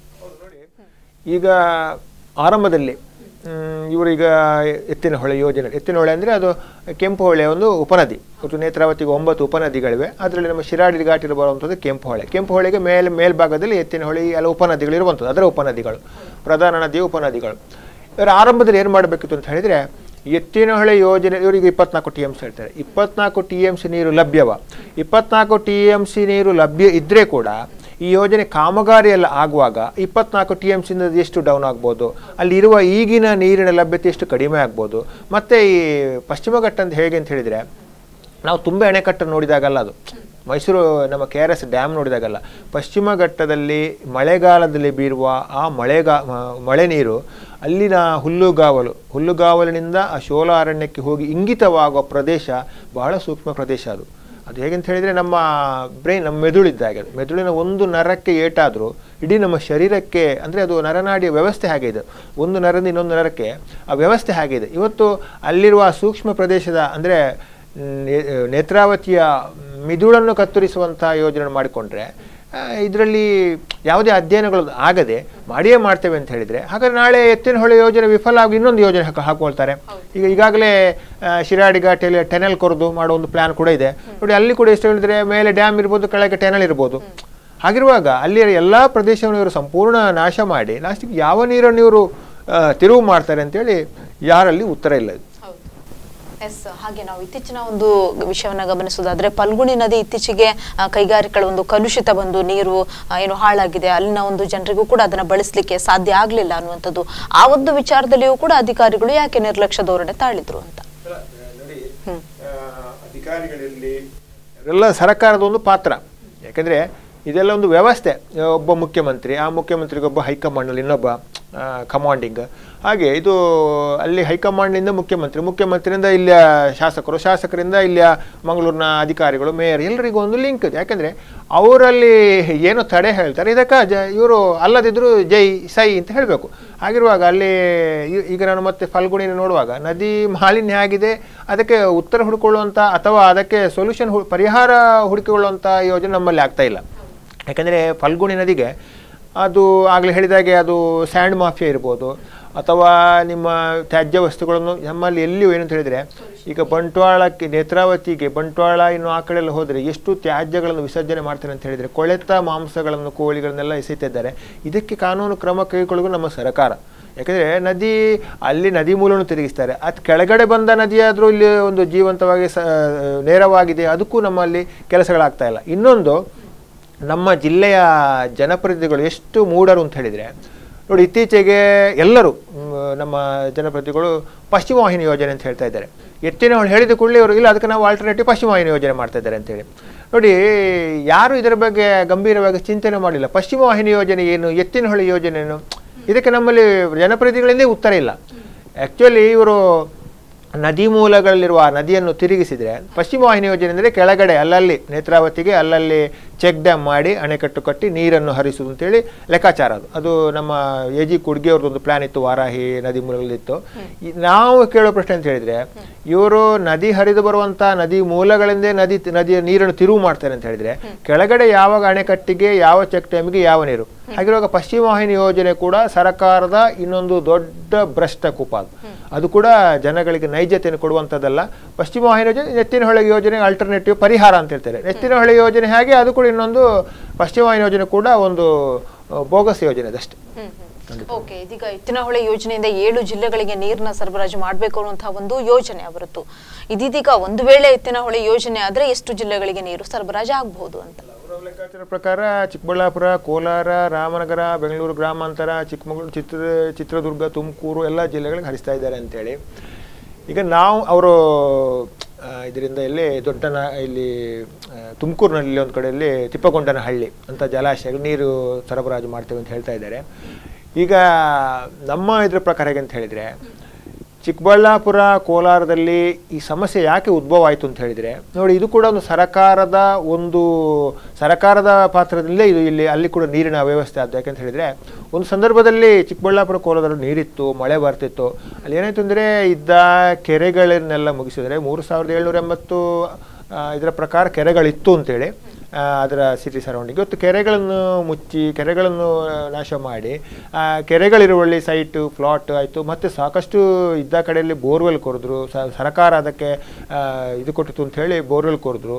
ಅದಿರುವಾಗ ಚಿಕ್ಕಬಳ್ಳಾಪುರ ಕೋಲಾರ ಇವತ್ತು ಅವರೇ ರೂಪಿಸಿಕೊಂಡು, ಅಂದರೆ ಸರ್ಕಾರವೇ ಮಾಡಿಕೊಂಡ ಅವ್ಯವಸ್ಥೆಗೆ ಇವತ್ತು ಅಲ್ಲಿಗೆ ನೀರು ಕೊಡ್ತೇವೆ ಅಂತ ಹೇಳ್ತಿದ್ದಾರೆ. ಈಗ ನೋಡಿ ಅಲ್ಲಿ ಕೊಡುವಂಥ ಈಗ ತಿಪ್ಪಗೊಂಡನಹಳ್ಳಿ ಇರ್ಬೋದು, ಯಾವುದೇ ಇದಕ್ಕೆ ನೀರು ಕೊಟ್ಟರು ಕೂಡ ಅಷ್ಟು ನೀರು ಇಲ್ಲಿಂದ ಹೋಗದೇ ಇದ್ದಾಗ ಮತ್ತೆ ಇವರು ಒಂದು ಹೇಳ್ತಾರೆ, ಮಳೆಗಾಲದಲ್ಲಿ ಮಾತ್ರ ನಾವು ನೀರನ್ನು ಕೊಂಡೋಗೋದು. ನೋಡಿ, ಒಂದು ಜಿಲ್ಲೆಯಿಂದ ಇನ್ನೊಂದು ಜಿಲ್ಲೆಗೆ, ನಿಮ್ಮ ರಾಜ್ಯ, ನಮ್ಮ ನೇತ್ರಾವತಿ, ಇದು ಕಾವೇರಿ ನದಿ ವಿಚಾರದಲ್ಲಿ ಇರ್ಬೋದು, ಒಮ್ಮೆ ನೀರಿನ ಹಕ್ಕು ಅವರಿಗೆ ಸಿಕ್ಕಿತು ಅಂತ ಆದಮೇಲೆ, ಅವರಿಗೆ ಮಳೆಗಾಲದಲ್ಲಿ ಮಾತ್ರ ಇರಿಸ್ಕೊಂಡು ಮತ್ತು ನೆಕ್ಸ್ಟು ಸಾ, ಉಳಿದ ಸಮಯದಲ್ಲೂ ಕೂಡ ನಮಗೆ ನೀರು ಕೊಡಬೇಕು ಅಂತೇಳಿ, ಅಲ್ಲಿ ನೋಡಿ ಒಂದು ವ್ಯಾಜ್ಯಗಳು, ಘರ್ಷಣೆಗಳು, ಜಿಲ್ಲೆ ಜಿಲ್ಲೆಗಳು ಘರ್ಷಣೆಗಳು ಹುಟ್ಟಿಕೊಳ್ಳುವಂಥದ್ದು ಹೊರತು ಇದು.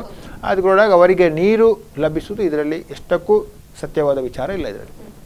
ಓಕೆ ಎತ್ತಿನಹೊಳೆ ಯೋಜನೆಗೆ ಒಂದು, ಅಥವಾ ಆ ಒಂದು ಯೋಜನೆ ಸಫಲವಾಗಲಿ ಅನ್ನುವಂತಹ ಕಾರಣದಿಂದಾಗಿ ಮಾರ್ನಹಳ್ಳಿಯಲ್ಲಿ ಇದೀಗ ರಸ್ತೆ, ಕಾಂಕ್ರೀಟ್ ರಸ್ತೆ ಕಾಮಗಾರಿಯನ್ನು ಮಾಡ್ತಾ ಇರುವಂತದ್ದು ಆ ಒಂದು ರಸ್ತೆ ಕಾಮಗಾರಿ ಯಾವ ಹಂತಕ್ಕೆ ಬಂದಿರುವಂತದ್ದು ಹಾಗೆ ಆ ಒಂದು ಸಂದರ್ಭದಲ್ಲಿ ಎಷ್ಟು ಮರಗಳು ಇದೀಗ ನಾಶ ಆಗುವ ಸಾಧ್ಯತೆ ಇದೆ ಅಂತ. ಸಕಲೇಶ್ಪುರದಲ್ಲಿ ಈ ಯೋಜನೆಗೆ ಆರಂಭದಲ್ಲಿ ಸಾಕಷ್ಟು ವಿರೋಧ ಇತ್ತು. ತುಂಬ ವಿರೋಧಗಳು, ವಿರೋಧ ವ್ಯಕ್ತಪಡಿಸಿದರು. ಆಮೇಲೆ ಏನಾಯಿತು ಅಂತ ಹೇಳಿದರೆ, ಹಣಬಲದಿಂದ, ಕರ್ನಾಟಕ ನೀರಾವರಿ ಇಲಾಖೆ ಹಣಬಲದಿಂದ ಕೆಲವರ ಮನ ಈ ಅವರ ಖಾಸಗಿ ಭೂಮಿಗಳನ್ನೆಲ್ಲ ಮನವೊಲಿಸಿ ಇವರು ಯೋಜನೆಗೆ ಪರಿವರ್ತನೆ ಮಾಡಿಕೊಂಡ್ರು. ಆಮೇಲೆ ಒಂದಲ್ಲಿ ವಿವಾದ ಹುಟ್ಕೊಡ್ತು ಅಂತ ಹೇಳಿದರೆ, ಅದು ಎಂ ಬಿ ಪಾಟೀಲ್ರು ಸರ, ಇದಕ್ಕೆ ಸರ್ಕ, ಸಕಲೇಶ್ಪುರಕ್ಕೆ ಬಂದಾಗ ವ್ಯಾಪ್ತಿ ಪ್ರದೇಶಕ್ಕೆ ಬಂದಾಗ. ಆಗ ಈ ಸಕಲೇಶ್ಪುರದಲ್ಲಿ ಒಂದು ಮಾತೇ ಬಿತ್ತು ಅಂತ ಹೇಳಿದರೆ, ನಮ್ಮ ಈಗ ಹದಿಮೂರು ಸಾವಿರದ ಏಳ್ನೂರು ಕೋಟಿ ಖರ್ಚು ಮಾಡುವಾಗ ನಮ್ಮ ಸಕಲೇಶ್ಪುರಕ್ಕೆ ನೀವು ಎಷ್ಟು ಕೋಟಿ ಖರ್ಚು ಮಾಡ್ತೀರಿ ಅಂತ ಹೇಳುವಾಗ ಅದಕ್ಕೆ ಅವರು ಒಂದು ಸಾವಿರ ಕೋಟಿಯನ್ನು ನಾವು ಸಕಲೇಶ್ಪುರದ ಸುತ್ತಮುತ್ತ ಕಾಮಗಾರಿಗೆ ಅಂದರೆ ಅಲ್ಲಿಯ ರಸ್ತೆಗಳಿಗೆ ರಸ್ತೆ ಇದು ಮಾಡೋಕ್ಕೆ ಇದು ಮಾಡಿದರೆ. ಅದರ ಪ್ರಕಾರ ಇವತ್ತು ಮಾರನಹಳ್ಳಿಯಿಂದ ಕಡಗರಹಳ್ಳಿ ಕಡಗರಿಂದ ಆಲ್ವಳ್ಳಿ ಆ್ಯಕ್ಚುಲಿ ಇವರ ಕಾಮಗಾರಿಗೆ ಬೇಕಾದಂಥ ಪರಿಕರಗಳನ್ನು ಕೊಂಡೋಗುವ ವ್ಯವಸ್ಥೆಗೋಸ್ಕರ ಮಾಡ್ತಾ ಇದ್ದಾರೆ. ಮತ್ತು ಸಕಲೇಶ್ಪುರದವರು ಕೂಡ ಒಂದು ರಸ್ತೆ ಮಾಡಿದ್ದೇವೆ ಅಂತೇಳಿ, ಅವರ ಮನ ಪರಿವರ್ತನೆ ಮಾಡುವಲ್ಲಿ ಕೂಡ ಇವತ್ತು ಈ ರಸ್ತೆಗಳ ಕಾಮಗಾರಿ ಎಲ್ಲ ಕಡೆಯಲ್ಲಿ ಆಗ್ತಾ ಉಂಟು ಅದು ಹೆಬ್ಬಸಾಲ ಇರ್ಬೋದು, ಹೆಗ್ಗದ್ದೆ ಇರ್ಬೋದು, ಕಡಗರಹಳ್ಳಿ ಹೆಂಗ್ ಹೊಂಗದಹಾಳ ಎಲ್ಲ ಕಡೆಯಲ್ಲಿ ರಸ್ತೆಗಳನ್ನು ಮಾಡ್ತಾ ಇದ್ದಾರೆ. ಈ ರಸ್ತೆ ಜೊತೆಗೆ ಮೊನ್ನೆ ನಮಗೊಂದು ಸುದ್ದಿ ಸಿಕ್ಕಿದ ಪ್ರಕಾರ ಅಲ್ಲಿ ಇನ್ನು ಏನೋ ಹೆದ್ದಾರಿ ಮಾಡ್ತಾ ಇದ್ದಾರಂತೆ. ಸಕಲೇಶ್ಪುರದಿಂದ ನೇರವಾಗಿ ಮಾರನಹಳ್ಳಿಗೆ ಬರುವಂಥ ಸಕಲೇಶ್ಪುರಕ್ಕೆ ಹೋಗದೆ ಮಾಡುವ ರಸ್ತೆ, ಸಕಲೇಶ್ಪುರ ಸಿಟಿಗೆ ಹೋಗದೆ ಅಲ್ಟರ್ನೇಟಿವ್ ರಸ್ತೆ ಮಾಡ್ತಾ ಅಂತ. ನೋಡಿ, ಇದರ ಒಂದೊಂದು ನೋಡುವಾಗ ಇದರ ಹಿಂದೆ ಮತ್ತೊಂದಷ್ಟು ಇವರ ಯೋಜನೆಗಳು, ಯೋಚನೆಗಳು ಸೇರಿಕೊಂಡು ಇದೇ ಪ್ರಕಾರ ಹದಿಮೂರು ಸಾವಿರದ, ಇಪ್ಪತ್ತು ಸಾವಿರ ಕೋಟಿಗೆ ಹೋಗುವಂತ ಇದೆ ನೋಡಿ. ಈಗ ನೋಡಿ, ಅವರ ಆರಂಭದಲ್ಲಿ ಸಕಲೇಶ್ಪುರದ ಮಾರನಹಳ್ಳಿಯಲ್ಲಿ ರಸ್ತೆ ಮಾಡುವ ಯೋಜನೆ ಅವರು ಯಾವುದೇ ಡಿ ಪಿ ಆರ್ನಲ್ಲಿ ಇರಲಿಲ್ಲ, ಪರಿಷ್ಕೃತ ವರದಿಯಲ್ಲಿ ಇರಲಿಲ್ಲ. ಹಾಗಿರುವಾಗ ನೋಡಿ, ಇದಕ್ಕೆ ಈಗ ಒಂದು ಸಾವಿರ ಕೋಟಿ ಅಂದರೆ ಆಟೋಮೆಟಿಕಲಿ ಎಷ್ಟು ಹಣದ ರೈಸ್ ಆಯಿತು. ಇನ್ನೊಂದು ಇದರ ಸತ್ತಿಗೆ ಇನ್ನೊಂದು ಏನಾದರೂ ಮಾಡ್ತಾರೆ. ಆಗ ಸಹಜವಾಗಿ ಇದರ ಆ, ಬಾಪ್ತು ಹೆಚ್ಚಾಗ್ತಾ ಹೋಗ್ತದೆ. ಎಸ್, ಹಾಗೆ ಈ ಒಂದು ಎತ್ತಿನಹೊಳೆ ಯೋಜನೆಯನ್ನ ಜಾರಿಗೆ ತರಬೇಕು ಅನ್ನುವಂಥದ್ದು ಮೊಟ್ಟ ಮೊದಲ ಬಾರಿಗೆ ಇದನ್ನ ಪರಿಚಯವನ್ನ ಮಾಡಿದಾಗ ಆಗ ಎಷ್ಟು ವಿರೋಧ ಕೇಳಿ ಬಂದಿತ್ತು ಅಂತ. ಹದಿಮೂರರಲ್ಲಿ ಪರಮಶಿವ ನೇತ್ರಾವತಿ ತಿರುವು ಯೋಜನೆಗಳಲ್ಲಿ ಹೋರಾಟಗಳು ಸಾಕಷ್ಟು ಆಗಿತ್ತು. ಬೆಳ್ತಂಗಡಿವರಿಂದ ಆರಂಭ ಸ್ಟಾರ್ಟ್ ಆಗಿತ್ತು. ಆಮೇಲೆ ಎತ್ತಿನ ಹೊಳೆಜು ಕೂಡ ವಿರೋಧಗಳು ಎಲ್ಲ ಸಂಘಟನೆಗಳಿಂದ ಎಲ್ಲ ಕಡೆಯಿಂದ ಇಲ್ಲಿ ವಿರೋಧ ವ್ಯಕ್ತಪಡಿಸಿ ಬರ್ತಿತ್ತು. ಆಮೇಲೆ ಎರಡು ಸಾವಿರದ ಹದಿನಾಲ್ಕರ ನಿರಂತರವಾಗಿ ಇಲ್ಲಿ ಹೋರಾಟಗಳು, ಬೀದಿ ಚಳವಳಿಗಳು, ರಸ್ತೆ ತಡೆಗಳು ಎಲ್ಲ ಕೂಡ ಆಗ್ತಿರುವಾಗಲೂ. ಆಮೇಲೆ ಕ್ರಮೇಣ ಅದೇ ನಾನು ಆಗ ಹೇಳಿದಾಗೆ ರಾಜಕೀಯ ವ್ಯವಸ್ಥೆಯಿಂದ, ರಾಜಕೀಯ ಸಂಚಿನಿಂದ ಹೋರಾಟಗಳು ಸ್ವಲ್ಪ ವಿಫಲ ಆಗ್ತಾ ಬಂತು. ಹೋರಾಟಗ ಮತ್ತೇನಾಗ್ತದೆ, ಜನಗಳಿಗೆ ಗೊಂದಲ ಸೃಷ್ಟಿ ಆಯ್ತು ಇಲ್ಲಿ ಈಗ ಓಕೆ ದಿನೇಶ್ ಅವರೇ, ಇದ್ರ ಬಗ್ಗೆ ನಾವು ಇನ್ನಷ್ಟು ಚರ್ಚೆನ ಮಾಡೋಣ, ಒಂದು ಸಣ್ಣ ಬ್ರೇಕ್ ಅನ್ನು ತಗೊಳ್ಳೋಣ ಎಸ್ ವೀಕ್ಷಕರೇ, ಎತ್ತಿನ ಹೊಳೆಯ ವಿಚಾರವಾಗಿ ದಿನೇಶ್ ಅವರು ಇನ್ನಷ್ಟು ವಿಚಾರಗಳನ್ನ ನಮ್ಮ ಜೊತೆ ಚರ್ಚೆಯನ್ನ ಮಾಡಲಿಕ್ಕಿದ್ದಾರೆ. ಅದಕ್ಕಿಂತ ಮುಂಚೆ ಒಂದು ಪುಟ್ಟ ಬ್ರೇಕ್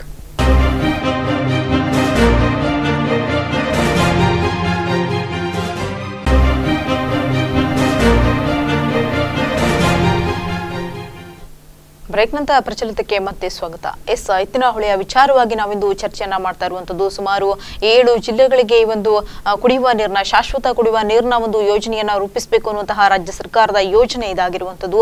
ಹಾಗಾಗಿ ಎತ್ತಿನಹೊಳೆ ಯೋಜನೆ ಬಗ್ಗೆ ಸಾಕಷ್ಟು ವಿರೋಧ ಕೇಳಿ ಬಂದಿತ್ತು ಅರಣ್ಯ ನಾಶ ಆಗುತ್ತೆ ಅನ್ನುವಂತಹ ಒಂದು ನಿಟ್ಟಿನಲ್ಲಿ ಎಸ್, ಇದ್ರ ಬಗ್ಗೆ ಇನ್ನಷ್ಟು ನಾವು ಚರ್ಚೆಯನ್ನ ಮಾಡೋಣ.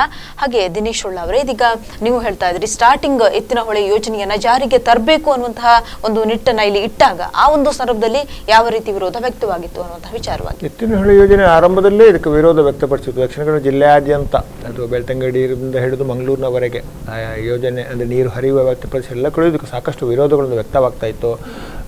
ವಿರೋಧ ಪ್ರತಿಭಟನೆಗಳು ಜಾಥಾ ಇರ್ಬೋದು, ಯಾವುದೇ, ಅಂದರೆ ಉಪ್ಪಿನಂಗಡಿಯಿಂದ ರಸ್ತೆ ತಡೆಯವರೆಗೆ ಬಹಳ ಮಟ್ಟದ ದೊಡ್ಡ ಪ್ರಯತ್ನಗಳನ್ನು ಆಗ್ತಾ ಇತ್ತು. ಆವ, ಮತ್ತೆ ಇದು ಏನಾಯಿತು ಅಂದರೆ ಯಾವಾಗ ಇದರಲ್ಲಿ ರಾಜ್ಯಕ್ಕೆ ನೋಡಿ, ಈಗ ಯಾವುದೇ ಒಂದು ಜನಗಳಿಗೆ ಹೇಗೆಂದರೆ ನೇರವಾಗಿ ದೋಷಾರೋಪಣೆ ಮಾಡಬೇಕಾದ್ರೆ ಯಾವ್ದಾದ್ರು ಒಂದು ಪಕ್ಷ ಇರಬೇಕಲ್ಲಿ. ಈಗ ಕಾಂಗ್ರೆಸ್ನವರು ಮಾಡಿದರೆ ಬಿ ಜೆ ಪಿಯವರಿಗೆ ಉಗಿಲಿಕ್ಕೆ ಒಂದು ಒಳ್ಳೆ ವಿಷಯ ಸಿಕ್ಕಿತ್ತು. ಬಿ ಜೆ ಪಿಯವರು ಮಾಡಿದರೆ ಕಾಂಗ್ರೆಸ್ನವರಿಗೆ ಒಂದು ಉಗಿಲಿಕ್ಕೆ ಒಳ್ಳೆ ವಿಷಯ ಸಿಕ್ಕಿತ್ತು. ಇಲ್ಲಿ ಏನಾಗಿದೆ ಅಂತ ಹೇಳಿದರೆ, ಎರಡೂ ಪಕ್ಷಗಳು ನೇರವಾಗಿ ಇದರಲ್ಲಿ ಭಾಗಿಯಾದ ಕಾರಣ, ಎರಡೂ ಪಕ್ಷಗಳ ಜ, ಅದನ್ನು ಅವಲಂಬಿತ ಜನಗಳಿಗೆ ಹೋರಾಟವಲ್ಲಿ ಒಂದು ಭರವಸೆ ಬಿದ್ದೋಯ್ತು ಇಲ್ಲಿ. ಎರಡು ಪಕ್ಷಗಳು ಅವರು ಅವರ ಪರವಾಗಿ ಇವರು ಈಗ ಕಾಂಗ್ರೆಸ್ನವರು ಇದ್ದಾರೆ ಬಿಜೆಪಿ ಈಗ ಬಿಜೆಪಿಯವರು ಹೋರಾಟ ಮಾಡಿದರೆ ನೀವು ಮಾಡಿದವರು ಕಾಂಗ್ರೆಸ್ ಮಾಡಿ ನೀವು ಮಾಡಿದ. ಅಂದರೆ ಎರಡು ಪಕ್ಷಗಳು ಇದ್ದ ಕಾರಣ ಈ ಹೋರಾಟಗಳಲ್ಲಿ ಜನಗಳಿಗೆ ಒಂದು ಭರವಸೆ ಸ್ವಲ್ಪ ಕಡಿಮೆ ಆಯಿತು. ಮತ್ತು ಇನ್ನೊಂದು ಹೇಳಿದರೆ ಇನ್ನೂ ನಾನು ಆಗಲೇ ನಿಮ್ಗೆ ಹೇಳಿದ ಪ್ರಕಾರ ದಕ್ಷಿಣ ಕನ್ನಡ ಜಿಲ್ಲೆಯ ಜನರಿಗೆ ಇಂದಿಗೆ ಕೂಡ ಎತ್ತಿನಹೊಳೆ ಯೋಜನೆ ಆದರೆ ಅದು ನೇರ್ ನೇತ್ರಾವತಿಗೆ ಒಂದು ಕಂಟಕ ಅಂತ ಹೇಳಿ ಇನ್ನೂ ಅರ್ಥ ಆಗಲಿಲ್ಲ. ಎತ್ತಿನಹೊಳೆ ಅಂದರೆ ಸಕಲೇಶ್ಪುರದಲ್ಲಿ ಯಾವುದೋ ಬೇರೆ ನದಿ ಅದು ನಮಗೆ ಅದಕ್ಕೂ ಸಂಬಂಧ ಇಲ್ಲ. ಯಾವುದೋ ಬೇರೆ ನದಿ ಅಂಥೇಳಿ ಹೇಳಿ ಆ ರೀತಿಯ ಧೋರಣೆ ಇಲ್ಲಿ ಜನಗಳಿಗೆ ವ್ಯಕ್ತವಾಗಿದೆ. ಯಾಕಂದ್ರೆ ಆ ಸೂಕ್ಷ್ಮ ಅದರ ಗಂಭೀರ ನಿಲುವಿನ ಅರ್ಥ ಆಗಲಿಲ್ಲ. ನೇತ್ರಾವತಿಗೆ ನಾವು ಡಿಪೆಂಡ್ ಆಗಿದ್ದೇವೆ. ಮತ್ತು ಇನ್ನೊಂದು ಅಂತ ಹೇಳಿದರೆ ಇವತ್ತು ಕಳಸಾ ಬಂಡೂರಿ ಇರ್ಬೋದು ಕಾವೇರಿ ಇರ್ಬೋದು ಆ ನದಿಯನ್ನು ಆಶ್ರಯಿಸಿಕೊಂಡಿರುವವರೇ ಹೋರಾಟ ಮಾಡಿದ್ರು ಹೌದು. ಹೊಲ ಗದ್ದೆ ಕೃಷಿ ತೋಟ ಭೂಮಿಗಳಿಗೆ ಆಶ್ರಯಿಸಿಕೊಂಡಿರುವವರ ಕಾರಣ ಅವರು ನಮ್ಮದೇ ನದಿ ನಮ್ಮದೇ ಭವಿಷ್ಯದ ಪ್ರಶ್ನೆ ಅಂತೇಳಿ ಈ ಸ್ವಯಂ ಪ್ರೇರಿತ ಯಾರೇ ಯಾರದೇ ಹೋರಾಟಕ್ಕೆ ಇದು ಭಾಗದ ಅಂದ್ರೆ ಸ್ವಯಂ ಪ್ರೇರಣೆಯಿಂದ ಹೋರಾಟಕ್ಕೆ ಬರ್ತಿದ್ರು. ನಮ್ಮ ದಕ್ಷಿಣ ಕನ್ನಡ ಜಿಲ್ಲೆಯ ಏನೇನಾಗಿದೆ ಅಂತ ಹೇಳಿದ್ರೆ ಇವತ್ತು ನೇತ್ರಾವತಿ ಹರಿವಿನ ಪ್ರದೇಶದಲ್ಲಿ ಗದ್ದೆ ಇಲ್ಲ ತೋಟ ಇಲ್ಲ ಹಾಗಿರುವಾಗ ಮತ್ತೆ ಮೀನುಗಾರರು ಕೂಡ ತಟಸ್ಥರಾಗಿದ್ದಾರೆ. ಅದು ಕಾರಣ ನಾವು ನೇತ್ರಾವತಿ ತಿರುವಾದ್ರೆ ನಮ್ಗೇನು ಸಮಸ್ಯೆ ಆಗುವಂಥದ್ದಲ್ಲ. ಮತ್ತೆ ಸ್ಪೆಷಲಿ ಹೇಳಿದ್ರೆ ದಕ್ಷಿಣ ಕನ್ನಡ ಜಿಲ್ಲೆಯ ಜನರಿಗೆ, ಅದರಲ್ಲೂ ಮಂಗಳೂರಿನ ಜನಗಳಿಗೆ ಯಾವುದೇ ವಿಚಾರದಲ್ಲಿ ನಿಮ್ಮ ಹೋರಾಟ ಅಥವಾ ಪ್ರಕೃತಿ, ಪರಿಸರ, ನದಿ, ನೀರು ಯಾವುದು ನಮಗೆ ಸಂಬಂಧಪಟ್ಟದಲ್ಲ ಇಲ್ಲಿ ಆಗುವಂಥದ್ದು ಆಗುವ ಹೋರಾಟಗಳು ಆಗ್ತಾ ಇಲ್ಲ. ಬೇಡದ ಹೋರಾಟಗಳಿಗೆ ಜನಗಳು ಬೇಗ ಸ್ಪಂದಿಸ್ತಿದ್ದಾರೆ. ಅಥವಾ ಏನಾದರೂ ಕೋಮುಗಲ ಬೀರಬಹುದು. ನಿಜವಾಗಿ ನಾವು ಉಳಿಸಬೇಕಾದ್ರೆ ದಕ್ಷಿಣ ಕನ್ನಡ ಜಿಲ್ಲೆಯ ಜನರು. ಯಾಕೆಂದರೆ ಆರಂಭದಲ್ಲಿ ಇದಕ್ಕೆ ಕಾನೂನು ಹೋರಾಟಕ್ಕಿಂತ ಬೀದಿ ಹೋರಾಟದಲ್ಲಿ ಜನಗಳ ದೊಡ್ಡ ಒಂದು ಆಂದೋಲನ ದೊಡ್ಡ ಒಂದು ಕ್ರಾಂತಿ ಆಗಿದ್ದಿದ್ರೆ ಎತ್ತಿನಹೊಳೆ ಯೋಜನೆ ಇವತ್ತಿಗೂ ಅದನ್ನು ತಡೆ ಹಿಡಿಬೋದಿತ್ತು. ಅದು ಏನಾಗಿದೆ ಸರ್ಕಾರಕ್ಕೆ ಏನಾಗಿದೆ ಜಲ್ ಜಿಲ್ಲೆಯ ಜನರೇ ಮಾತಾಡ್ತಾ ಇಲ್ಲ ಜಿಲ್ಲೆಯ ಜನಪ್ರತಿಗಳೇ ಮಾತಾಡ್ತಾ ಇಲ್ಲ ಅಂತ ಹೇಳುವಾಗ ಈ ಹೋರಾಟ ಸ್ವಲ್ಪ ವಿಫಲ ಆಗ್ತಾ ಬಂದಿದೆ ರೈಟ್ ಹಾಗೆ. ದಿನೇಶ್ ಇನ್ನೊಂದು ವಿಚಾರ ನೀವು ಹೇಳ್ತಾ ಇದ್ರಿ ಈ ಒಂದು ದೊಡ್ಡ ದೊಡ್ಡ ಪೈಪ್ ಗಳನ್ನ ಇಲ್ಲಿ ಹಾಕ್ತಾ ಇರುವಂತದ್ದು ಆದ್ರೆ ಈ ಪೈಪ್ಗಳು ಕೂಡ ಸರಿಯಾದ ರೀತಿಯಲ್ಲಿ ಹಾಕಿಲ್ಲ ಅನ್ನುವಂಥದ್ದು. ಸೊ ಈ ಸಂದರ್ಭದಲ್ಲಿ ಇದೀಗ ನೀರು ಸಲಾಗು ಅಥವಾ ಸಲೀಸಾಗಿ ಹೋಗ್ಲಿಕ್ಕೆ ಸಾಧ್ಯನಾ ಅಂತ? ನೋಡಿ ಅಲ್ಲಿ ಕೆಲವು ಕಡೆ ಏನ್ ಮಾಡಿದೆ ಅಂತ ಹೇಳಿದ್ರೆ ಈಗ ಹೊಂಗದ ಹೊಳೆಯಿಂದ ಕೇರಿ ಹೊಳೆಗೆ ಬರುವಲ್ಲಿ ಒಂದು ಒಂಬತ್ತು ಕಿಲೋಮೀಟರ್ ಅಂತರ ಇದೆ. ಹೊಳೆಯಿಂದ ಕೇರಿ ಹೊಳಿಗೆ ಬರುವಲ್ಲಿ ತುಂಬಾ ಪ್ರಪಾತಗಳಿವೆ ಕಂದರಗಳಿವೆ. ಇವ್ರು ಏನ್ ಮಾಡಿದೆ ಅಂತ ಹೇಳಿ ಕೆಲವು ಕಡೆ ಇವರ ಪೈಪ್ ಹಾಕುವ ಇದಕ್ಕೋಸ್ಕರ ಕೆಲವು ಬೆಟ್ಟಗಳನ್ನೇ ಕೊರೆದು ಬಿಟ್ಟಿದ್ದಾರೆ. ಬೆಟ್ಟಗಳನ್ನು ಕೊರೆದು ಆ ಸು ಆ ಸಾಫ್ಟ್ ಮಣ್ಣನ್ನು ಆ ಸಾಯಿಲ್ ಅನ್ನು ಒಂದು ಕಡೆ ರಾಶಿ ಹಾಕಿ ಅದರ ಮೇಲೆ ಪೈಪ್ ಹಾಕಿದ್ದಾರೆ. ಹದಿನ ಹದಿಮೂರು ಅಡಿ ಗಾತ್ರದ್ದು. ನೋಡಿ ಈಗ ಅದರ ಇವರ ಕಾಮಗಾರಿಯ ವ್ಯವಸ್ಥೆ ಈಗ ಈಗಿನ ಮಳೆಗಾಲದಲ್ಲಿ ಗೊತ್ತಾಗ್ತದೆ. ಈಗ ಹಾಕಿದ ಮಣ್ಣು ಅದು ದುರ್ಬಲವಾಗಿರುವ ಕಾರಣ ನಾಡಿದ್ದು ಮಳೆ ಮಳೆಗಾಲದಲ್ಲಿ ಆ ಮಣ್ಣು ಕುಸಿತ ಆಗುವ ಸಂಭವ ಇದೆ. ಒಂದು ವೇಳೆ ನಾಡಿದ್ದು ಕುಸಿತ ಆಗದಿದ್ರೆ ಕೂಡ ನೋಡಿ ಅದಕ್ಕೆ ಸರಿಯಾದ ಪಿಲ್ಲರ್ ಸಿಮೆಂಟ್ ಪಿಲ್ಲರ್ ಹಾಕಿ ಆ ಪೈಪನ್ನು ಹಾಕಬೇಕಿತ್ತು. ನಾಡಿದ್ದು ಒಂದು ವೇಳೆ ಯೋಜನೆ ಆದ ನಂತರ ಫೋರ್ಸ್ ಅಲ್ಲಿ ಹದಿಮೂರು ಅಡಿಯ ಎತ್ತರದ ಪೈಪಲ್ಲಿ ನೀರು ಫೋರ್ಸ್ ಅಲ್ಲಿ ಬರುವಾಗ ಕೆಳಗಡೆ ಮಣ್ಣು ದುರ್ಬಲ ಆಗಿ ಅಲ್ಲಿ ಭೂಕುಸಿತ ಆಗಿ ಪೈಪ್ಗಳೇ ತುಂಡು ಆಗುವ ಸಾಧ್ಯತೆ ಇದೆ. ಇನ್ನೊಂದು ಕೇರಿ ಹೊಳೆಯಿಂದ ವಾಪಸ್ಸು ಮಾರನಹಳ್ಳಿ ಅಂದ್ರೆ ಎತ್ತಿನಹಳ್ಳಿ ಅಂದ್ರೆ ಒಂದು ಹೆಗ್ಗದ್ದೆ ಅಂತ ಹೇಳಿದ್ರು ಕುಂಬರಡಿ ಅಂತೇಳಿ. ಅಲ್ಲಿಗೆ ಬರುವಾಗಲೇ ಕೆಲವು ಕಡೆಗಳಲ್ಲಿ ಪ್ರಪಾತಗಳಿವೆ ಕಂದರಗಳಿವೆ. ಅಲ್ಲಿ ಇವರು ಪೈಪ್ ಈಗ ಕಾಮಗಾರಿ ಮಾಡಿದ್ರು ನೋಡಿದ್ರೆ ಸರಿಯಾಗಿ ಕಾಮಗಾರಿ ಎಲ್ಲಿ ಕೂಡ ಆಗ್ಲಿಲ್ಲ. ಅರ್ಧಂಬರ್ಧ ಕಾಮಗಾರಿ ಮಾಡಿದ್ರು. ಕೆಲವು ಕಡೆ ಎಲ್ಲಿವರೆಗೆ ಹೇಳಿದ್ರೆ ಪೈಪಿಗೆ ಹಾಕಿದ ಸಿಮೆಂಟ್ ಕೋಟಿಂಗ್ ಹೋಗಿ ಅದರ ನೆಟ್ ಕಾಣ್ತಾ ಉಂಟು. ಅಷ್ಟು ಆಗಿದೆ. ಆದರೂ ಆ ಪೈಪ್ಗಳನ್ನು ಜೋಡಿಸಿಕೊಂಡು ಇದರ ಅಲ್ಲಿ ಅವರು ಮಾಡುವ ಆತುರದ ಕಾಮಗಾರಿ ನೋಡಿದರೆ ಈ ಒಂದು ವರ್ಷದ ಒಳಗೆ ಒಂದು ವರ್ಷದ ಒಳಗೆ ಹಿರಿದನಹಳ್ಳಿಯಿಂದ ಹರವನಹಳ್ಳಿವರೆಗೆ ಪೈಪ್ ಜೋಡಿಸಿ ಇಡಬೇಕು ಅಂತ ಹೇಳುವ ಪ್ರಯತ್ನಗಳಲ್ಲಿ ಆಗ್ತಾ ಉಂಟು. ಡ್ಯಾಮ್ ಅರ್ಧಂಬರ್ಧ ಆಗ್ತಾ ಉಂಟು. ಯಾಕಂದ್ರೆ ಈಗ ಬಯಲು ಸೀಮೆಯವರಿಗೆ ಅವರ ಒಂದು ನಿಯೋಗ ಬಂದಲ್ಲಿ ಒಂದು ವೇಳೆ ಅಕಸ್ಮಾತ್ ಭೇಟಿ ನೀಡಿತು ಅಂತ ಹೇಳಿ ಆದ್ರೆ ಇವರಿಗೊಂದು ನೋಡ್ಲಿಕ್ಕೆ ಅಂದ್ರೆ ಮೊನ್ನೆ ಇತ್ತೀಚೆಗೆ ನಮ್ಮ ವೀರಪ್ಪ ಇವರು ಕೂಡ ಬಂದು ಹೋಗಿದ್ರು. ಬಂದು ಎಲ್ಲರೂ ಕೂಡ ಅಧಿಕಾರಿಗಳಿಗೆ ಬೇಷ್ ಬೇಷ್ ಅಂತ ಹೇಳಿ ಹೋಗಿದ್ದಾರೆ. ಯಾಕಂದ್ರೆ ಅವರಿಗೆ ಅಷ್ಟೇ ಕಾಣುದಂತದಲ್ಲಿ ಆಮೇಲೆ ಬಯಲು ಸೀಮೆಯವರ ಒಂದು ನಿಯೋಗ ಬಂದ್ರೆ ಕೂಡ ಇವರಿಗೆ ಪೈಪ್ ಲೈನ್ ಹಾಕಿದ್ದೇವಲ್ಲ ಅಂತ ಹೇಳಿ ಒಂದು ಕೂಡಲೇ ಅವರಿಗೆ ಕೂಡ ಒಂದು ಭರವಸೆ. ಆ ಪೈಪ್ ಎಲ್ಲ ಹಾಕಿದ್ದೆ ಇನ್ನು ನಮ್ಗೆ ಟ್ಯಾಪ್ ತಿರುಗಿಸಿಕೊಂಡು ನೀರು ಬರ್ತದೆ ಅಂತೇಳಿ ಇದು ಇನ್ನು ಕಾಮಗಾರಿ ಆಗ್ಬೇಕಾದ್ರೆ ದೊಡ್ಡ ನಾಗರದ ತಿಪ್ಪಗೊಂಡನಹಳ್ಳಿವರೆಗೆ ಇನ್ನೂರ ಎಪ್ಪತ್ತು ಕಿಲೋಮೀಟರ್ ವರೆಗೆ ಕಾಮಗ ಇದು ಕಾಲುವೆ ಆಗಬೇಕು. ಅಲ್ಲಿ ಓಪನ್ ಕೆರಳಿಂದ ಕೊಂಡೋಗ್ತಾ ಇದ್ದಾರೆ ಪೈಪ್ ಲೈನ್ ಇಂದ ಅಲ್ಲಿ ಕಾಲುವೆ ಆಗಬೇಕು ಅಲ್ಲಿ ಅಣೆಕಟ್ಟಾಗಬೇಕು. ಸಾಕಷ್ಟು ಕೆಲಸಗಳು ಆಗಿರುವ ಕಾರಣ ಒಂದು ಐದು ವರ್ಷದಿಂದ ಆರು ವರ್ಷದವರೆಗೆ ಈ ಕಾಮಗಾರಿ ಮುಗಿಯುವ ಹಂತದಲ್ಲಿಲ್ಲ. ಆದ್ರೂ ಎಲ್ಲಾ ಅಧಿಕಾರಿಗಳು ಜನಪ್ರತಿನಿಧಿಗಳು ಸರ್ಕಾರವೇ ಹೇಳ್ತಾ ಉಂಟು ಒಂದು ವರ್ಷದೊಳಗೆ ಚಿಕ್ಕಬಳ್ಳಾಪುರಕ್ಕೆ ನೀರು ಲಭ್ಯ ಅಂತೇಳಿ ಸುಳ್ಳು ವರದಿಗಳನ್ನು ಸೃಷ್ಟಿ ಮಾಡ್ತಾ ಇದೆ ಇದೆಲ್ಲವನ್ನು ನೋಡೋಕೆಂದ್ರೆ ಒಂದು ದೊಡ್ಡ ಒಳ ಸಂಚು. ಭ್ರಷ್ಟಾಚಾರದ ಒಂದು ದೊಡ್ಡ ದೊಡ್ಡ ಒಳಸಂಚು. ಎಲ್ಲ ಅಧಿಕಾರಿಗಳು ಇದರಲ್ಲಿ ಶಾಮೀಲಾಗಿದ್ದಾರೆ ಜನಪ್ರತಿನಿಧಿಗಳು ಶಾಮೀಲಾಗಿದ್ದಾರೆ. ಅದಕ್ಕಿಂತ ಹೆಚ್ಚಾಗಿ ಬಯಲು ಸೀಮೆಯವರನ್ನು ಮೋಸ ಮಾಡ್ತಾ ಉಂಟು. ಪಾಪ ಅವರು ಸಹಜ ಅವರಿಗೆ ನೀರಿಲ್ಲ ಕೃಷಿಗೆ ನೀರಿಲ್ಲ ಕುಡಿಯುವ ನೀರಿಲ್ಲ ಮತ್ತೆ ಅಲ್ಲಿ ಫ್ಲೋರೈಡ್ ನೀರು ಅಂತ ಹೇಳಿ ಅವರು ಇದು ಮಾಡ್ತಾರೆ ಆದರೆ ಅಂತ ಜನಗಳಿಗೆ ಓಟಿನ ನೆಪದಲ್ಲಿ ದೇವರು ವಂಚನೆ ಮಾಡ್ತಾ ಇದ್ದಾರೆ. ಅದು ಇದು ಮೇ ನೇರವಾಗಿ ಹೇಳಬೇಕಂದ್ರೆ ಇಡೀ ರಾಜ್ಯದ ಜನತೆಗೆ ಸಂಚು ಇದು ಮಾಡ್ತಿದ್ದಾರೆ. ಯಾಕಂದರೆ ಒಂದು ಕಡೆಯಲ್ಲಿ ಬಯಲು ಸೀಮೆ ಒಂದು ಕಡೆಯಲ್ಲಿ ಕರಾವಳಿ ಒಂದು ಕಡೆಯಲ್ಲಿ ಮಲೆನಾಡು. ಎಲ್ರಿಗೂ ಈ ಯೋಜನೆ ಹೆಸರಲ್ಲಿ ಒಂದು ದೊಡ್ಡ ಮೋಸ ಮಾಡ್ತಾ ಇದ್ದಾರೆ ಅಂತ ಹೇಳ್ಬೋದು. ಓಕೆ. ಹಾಗೆ ಭೂಸ್ವಾಧೀನ ಏನಾದರೂ ಅಂತಿಮವಾಗಿದೆ ಹೇಗೆ ಅಂತ? ಇಲ್ಲ ಭೂ ಸ್ವಾಧೀನ ಪ್ರಕ್ರಿಯೆ ಕೂಡ ಆಗಲಿಲ್ಲ. ಈಗ ಅಲ್ಲಿಯ ಯೋಜನಾ ವ್ಯಾಪ್ತಿ ಪ್ರದೇಶ ಹೇಳುವ ಪ್ರಕಾರ ಹಲವಾರು ಕಡೆ ಕೆಲವು ಖಾಸಗಿ ಭೂಮಿಗಳಲ್ಲಿ ಒಂದು ಲೀಸ್ ಒಂದು ಗುತ್ತಿಗೆ ಆಧಾರದಲ್ಲಿ ಪೈಪ್ಗಳನ್ನು ಇಟ್ಟು ಇವರು ಕೆಲಸಗಳನ್ನು ಮಾಡಿದ್ದಾರೆ. ಆದರೆ ಕೆಲವು ಕಡೆಯಲ್ಲಿ ಕೃಷಿಕರು ಇವತ್ತಿಗೂ ಅವರ ಜಾಗ ಬಿಟ್ಟುಕೊಡಲಿಲ್ಲ. ಭೂ ಸ್ವಾಧೀನ ಪ್ರಕ್ರಿಯೆ ಆಗಲಿಲ್ಲ. ಇವರು ಆಗಿದೆ ಅಂತ ಹೇಳ್ತಾ ಇದ್ದಾರೆ. ಅದು ಎಲ್ಲಿ ಕೂಡ ಆಗಲಿಲ್ಲ. ಭೂ ಸ್ವಾಧೀನ ಪ್ರಕ್ರಿಯೆ ಆಗದೆ ಇವರ ಮುಂದಿನ ಕಾಮಗಾರಿಗೆ ಅದು ಅಡ್ಡಿ ಆಗುವುದರಲ್ಲಿ ಸಂಶಯ ಇಲ್ಲ. ಖಂಡಿತವಾಗಿಯೂ ಅಡ್ಡಿ ಆಗ್ತದೆ. ಮತ್ತು ಇನ್ನೊಂದು ಯಾವುದೇ ಈ ಆ, ಈ ನಮ್ಮ ಪ್ರಾಕೃತಿಕ ಇದಕ್ಕೆ ಬರುವಂಥದ್ದು ಅಂದ್ರೆ ನೇಚರ್ನ ಇರುವಂಥದ್ದು ನಮ್ಮ ಹಸಿರು ಪೀಠದಲ್ಲಿ ಗ್ರೀನ್ ಟ್ರಿಬ್ಯುನಲ್ಲಿ ಇವತ್ತು ಹಸಿರು ಪೀಠದಲ್ಲಿ ಚೆನ್ನೈಯಿಂದ ಡಿಲ್ಲಿಗೆ ವರ್ಗಾವಣೆ ಆದ ನಂತರ ಕೂಡ ಮೂರು ನಾಲ್ಕು ಕೂಡ ಹಿಯರಿಂಗ್ ಮುಂದೆ ಮುಂದೆ ಹೋಗ್ತಾ ಉಂಟು. ಆ್ಯಕ್ಚುಲಿ ಇಲ್ಲಿ ಕೋರ್ಟಿನ ಇದರಲ್ಲಿ ಪ್ರಾಮಾಣಿಕವಾಗಿ ಉಂಟು ಅಂತ ಹೇಳಿ ಆಗಿದ್ರೆ ನಾಡ್ದು ಈಗ ಜೂನ್ ಎಂಟಕ್ಕೆ ಒಂದು ಹಿಯರಿಂಗ್ ಉಂಟು. ಆ ಸಂದರ್ಭದಲ್ಲಿ ರಾಜ್ಯ ಸರ್ಕಾರವೇ ಬರಪೀಡಿತ ಜಿಲ್ಲೆ ಅಂತ ಘೋಷಣೆ ಮಾಡಿದ ವರದಿಗಳನ್ನು ಇವತ್ತು ಕೋರ್ಟಿಗೆ ಸಬ್ಮಿಟ್ ಮಾಡಿದೆ. ಅದರ ಪ್ರಕಾರದಲ್ಲಿ ಕೋರ್ಟ್ ಇದಕ್ಕೆ ಸೂಕ್ತವಾದ ಉತ್ತರ ನೀಡಬಹುದು ಅಂತ ನಾವು ನಿರೀಕ್ಷೆಯನ್ನು ಇಟ್ಕೊಂಡಿದ್ದೇವೆ. ಅದು ಜೂನ್ ಏಳಕ್ಕೆ ಹಿಯರಿಂಗ್ ಆಗ್ತದೆ. ಓಕೆ. ಹಾಗೆ ದಿನೇಶ್ ಅವರೇ ಇದೀಗ ಎತ್ತಿನಹೊಳೆ ಯೋಜನೆ ಆಗೋದಾದ್ರೆ ಎಷ್ಟು ರೈತರ ಭೂಮಿಗಳು ಇದರಲ್ಲಿ ಸೇರಬಹುದು ಹೇಗೆ ಅಂತ? ಎತ್ತಿನಹೊಳೆ ಯೋಜನೆ ಆಗು ಅಂತ ಹೇಳಿದ್ರೆ ಅಂದ್ರೆ ಕೆಲವು ಕಡೆಯಲ್ಲಿ ಇದರಲ್ಲಿ ರಿಸರ್ವ್ ಫಾರೆಸ್ಟ್ ಅಂದ್ರೆ ಮೀಸಲು ಅರಣ್ಯ ಇದೆ. ಕೆಲವು ಕಡೆಯಲ್ಲಿ ಖಾಸಗಿ ಜಮೀನಿದೆ ಅವರವರ ಇದರಲ್ಲಿ ಪ್ರಕಾರ ಅಂದ್ರೆ ಹಲವಾರು ತೋಟಗಳು ಅಂದ್ರೆ ಗದ್ದೆಯನ್ನೇ ಆಧಾರಿತವಾಗಿರುವಂತಹ ಕೃಷಿ ಭೂಮಿಗಳು ಇದರಲ್ಲಿ ತುಂಬ ತುಂಬಾ ಕಡೆಯಲ್ಲಿ ನಾಶವಾಗೋ ಸಾಧ್ಯತೆ ಇದೆ. ಆದ್ರೆ ಇವರು ಸರ್ಕಾರ ಏನು ಅಂತ ಹೇಳಿದ್ರೆ ಕೆಲವು ಕಡೆ ನಾವು ಅವರಿಗೆ ಗುತ್ತಿಗೆ ಆಧಾರದಲ್ಲಿ ಅವರಿಗೆ ಇದು ಕೊಟ್ಟಿದ್ದೇವೆ ಪರಿಹಾರ ಕೊಟ್ಟಿದ್ದೇವೆ ಅಂತ ಸುಳ್ಳುಗಳನ್ನು ಹೇಳ್ತಾ ಇದ್ದಾರೆ. ಮತ್ತು ನೇರವಾಗಿ ಕೃಷಿ ಭೂಮಿಗೆ ಮತ್ತು ಅರಣ್ಯ ಭೂಮಿಗೆ ಸಮಾನಾಂತರವಾಗಿ ಎರಡು ಕಡೆಯಲ್ಲೂ ಕೂಡ ಇದಕ್ಕೆ ತೊಂದರೆ ಆಗುವ ಕಾರಣ ಎಲ್ಲವೂ ಒಂದು ಇದಕ್ಕೆ ಎತ್ತಿನ ಹೊಳೆ ಯೋಜನೆ ಕೃಷಿಕರಿಗೂ ತೊಂದರೆ ಆಗ್ತದೆ ನಮ್ಮ ಕಾಡು ಪ್ರದೇಶ ಕೂಡ ತೊಂದರೆ ಆಗ್ತದೆ. ಹಾಗೆ ದಿನೇಶ್ ಅವರೇ, ಬಹಳ ಮುಖ್ಯವಾಗಿ ನಾವು ಗಮನಿಸೋದಾದ್ರೆ, ಕುಡಿಯುವ ನೀರಿಗೋಸ್ಕರ ನಾವು ಇಂಥ ಯೋಜನೆಗಳನ್ನ ಜಾರಿಗೆ ತರ್ತೀವಿ ಅನ್ನುವಂತಹ ಮಾತುಗಳನ್ನ ಅವರು ಹೇಳ್ತಾ ಇರುವಂತದ್ದು ಆದ್ರೆ ಇಲ್ಲಿ ಒಂದೆಡೆ ನೋಡಿದಾಗ ಎತ್ತಿನ ಹೊಳೆ ಯೋಜನೆಯಲ್ಲಿ ಕೆಲವೊಂದಿಷ್ಟು ರೈತರ ಭೂಮಿಗಳು ಕೂಡ ನಾಶ ಆಗುವಂತದ್ದು ಆದ್ರೆ ಇದಕ್ಕೂ ಕೂಡ ಪರಿಹಾರ ಧನವನ್ನ ನೀಡೋದಿಲ್ಲ. ಹಾಗೇನೆ ಕಾಮಗಾರಿಯನ್ನ ಆರಂಭ ಮಾಡುವಂತದ್ದು ಒಂದೆಡೆ ಆದ್ರೆ, ಇನ್ನೊಂದೆಡೆ ತುಂಬೆ ವೆಂಟನ್ ಡ್ಯಾಮ್ನಲ್ಲಿ ಕೂಡ ನೀರನ್ನ ಸಂಗ್ರಹ ಮಾಡುವಂತಹ ಸಂದರ್ಭದಲ್ಲಿ ಸಾಕಷ್ಟು ಭೂಮಿ ಅನ್ನುವಂಥದ್ದು ಮುಳುಗಡೆ ಆಗಿತ್ತು. ಆ ಸಂದರ್ಭದಲ್ಲಿಯೂ ಕೂಡ ಅವರು ಭರವಸೆಯನ್ನ ನೀಡಿದ್ರು. ಇದೀಗ ಏನು ನಮಗೆ ಸಂತ್ರಸ್ತರಿಗೆ ಪರಿಹಾರ ಧನವನ್ನ ನೀಡ್ತೀವಿ ಅನ್ನುವಂತಹ ಭರವಸೆ. ಆದ್ರೆ ಅದು ಕೂಡ ಈಗಲೇ ತುಂಬಾ ವೆಂಟೆಡ್ ಡ್ಯಾಮ್ನಲ್ಲಿ ನೀರನ್ನ ಸಂಗ್ರಹಿಸ್ತಾರೆ. ಹಾಗಾಗಿ ಎಷ್ಟೋ ಜನರ ಭೂಮಿ ಕೂಡ ಮುಳುಗಡೆ ಆಗಿದೆ. ಅದ್ರ ಬಗ್ಗೆ ಹೋರಾಟವನ್ನ ಮಾಡಿದ್ರು ಕೂಡ ಯಾವುದೇ ರೀತಿ ಪರಿಹಾರ ಧನವನ್ನ ನೀಡ್ತಾ ಇಲ್ಲ. ಇನ್ನು ಎತ್ತಿನ ಹೊಳೆ ವಿಚಾರದಲ್ಲಿಯೂ ಕೂಡ ಇದೇ ರೀತಿ ಮಾಡ್ತಾ ಇದ್ದಾರೆ. ಯಾಕೆ ಅಂತ? ಇದು ಈಗ ಎತ್ತಿನ ಹೊಳೆ ಯೋಜನೆ ಅಲ್ಲಿಗ ಭೂಸ್ವಾಧೀನ ಭೂ ಸ್ವಾಧೀನ ಪ್ರಕ್ರಿಯೆ ಆಗ್ಲಿ ಎಲ್ಲ ಆಗ್ಲಿ ಅಂತ ಹೇಳಿದ್ರೆ ಸರ್ಕಾರ ಏನು ಮಾಡ್ತದೆ ನೋಡಿ ಈಗ ಇವರದ್ದು ಈಗ ಮೂ ನಾವು ನಾಲ್ಕು ವರ್ಷದಲ್ಲಿ ಎತ್ತಿನ ಹೊಳೆಯಲ್ಲಿ ರಾಜ್ಯ ಸರ್ಕಾರ ಅದರ ಬಗ್ಗೆ ಕೆಲಸ ಮಾಡಿ ಐತಿ. ಈಗ ಒಂದು ವರ್ಷದಲ್ಲಿ ಅವರಿಗೆ ಬೇಕಾದಷ್ಟು ಕೆಲಸ ಮಾಡಿಸ್ಕೊಂಡು ಹೋಗ್ತಾರೆ. ಇದು ನೆಕ್ಸ್ಟ್ ಇನ್ನೊಂದು ಸರ್ಕಾರ ಬಂದಾಗ ಇನ್ನು ಯಾವುದೋ ಒಂದು ಸರ್ಕಾರ ಬರ್ಬೋದು ಬಿ ಜೆ ಪಿ ಬರ್ಬೋದು ಜೆ ಡಿ ಎಸ್ ಬರ್ಬೋದು ಮಿಕ್ಸ್ ಬರ್ಬೋದು ಅವ್ರೇನು ಮಾಡ್ತಾರೆ ಅಂತ ಹೇಳಿದ್ರೆ ಈ ಯೋಜನೆಯನ್ನು ಮುಂದುವರಿಸ್ತಾರೆ. ಈಗ ಅದು ಹದಿಮೂರು ಸಾವಿರದ ಏಳ್ನೂರು ಕೋಟಿ ವೆಚ್ಚದಲ್ಲಿದೆ. ಅವರೊಂದು ಇಪ್ಪತ್ತು ಸಾವಿರ ಕೋಟಿ ಅದರ ಒಂದು ಡಿ ಪಿ ಆರ್ ಅಂದ್ರೆ ಅದರ ಪರಿಷ್ಕೃತ ಅಧ್ಯಯನ ವರದಿಯನ್ನು ಚೇಂಜ್ ಮಾಡಿಕೊಂಡು ಅಥವಾ ಅದರ ಹೆಸರು ಬದಲಾವಣೆ ಮಾಡಿಕೊಂಡು ಐದು ವರ್ಷ ಅವರು ಕಾಮಗಾರಿ ಮಾಡ್ತಾ ಇರ್ತಾರೆ. ನೆಕ್ಸ್ಟ್ ಇನ್ನೊಂದು ಸರ್ಕಾರ ಬರ್ತದೆ ಅವರೊಂದು ಐದು ವರ್ಷ ಬರ್ತದೆ. ಯಾಕಂದ್ರೆ ಇದು ನೆಕ್ಸ್ಟ್ ಇನ್ನೊಂದು ವಾರಾಹಿ ಯೋಜನೆ ಆಗ್ತದೆ. ಯಾಕಂದ್ರೆ ವಾರಾಹಿ ಯೋಜನೆ ಆರಂಭದಲ್ಲಿ ಇದ್ದದ್ದು ಇಪ್ಪತ್ತ ನಾಲ್ಕು ಕೋಟಿ ರೂಪಾಯಿ ವೆಚ್ಚದಲ್ಲಿ. ಇವತ್ತು ಏಳ್ನೂರ ಎಂಬತ್ತ ಏಳ್ನೂರ ಎಂಬತ್ತು ಕೋಟಿ ವೆಚ್ಚ ಆದರೂ ವಾರ ಹಿಂದೆ ನೀರು ಸರಬರಾಜು ಆಗಲಿಲ್ಲ, ಕಾಮಗಾರಿ ಯಶಸ್ವಿ ಆಗಲಿಲ್ಲ. ಅದೇ ರೀತಿ ಎತ್ತಿನಹೊಳೆ ಯೋಜನೆ ಇನ್ನೊಂದು ಇಪ್ಪತ್ತೈದು ವರ್ಷಗಳಲ್ಲಿ ಸರ್ಕಾರ ಕಾಮಗಾರಿ ಮಾಡ್ತಾ ಇರ್ತದೆ ಮಾಡ್ತಾ ಇರ್ತದೆ, ಭರವಸೆ ನೀರು ಕೊಡ್ತಾ ಇರ್ತದೆ. ಯೋಜನೆ ಅಂತೂ ಸಂಪೂರ್ಣ ಇದು ಆಗುದಿಲ್ಲ. ನೀರು ಲಭ್ಯತೆ ಅಂತ ಇಲ್ವೇ ಇಲ್ಲ. ಓಕೆ ದಿನೇಶ್ ಅವರೇ ನಮ್ಮ ಕಾರ್ಯಕ್ರಮದಲ್ಲಿ ಬಂದು ಸಾಕಷ್ಟು ವಿಷಯಗಳನ್ನ ನೀವು ಚರ್ಚೆ ಮಾಡಿದ್ರಿ.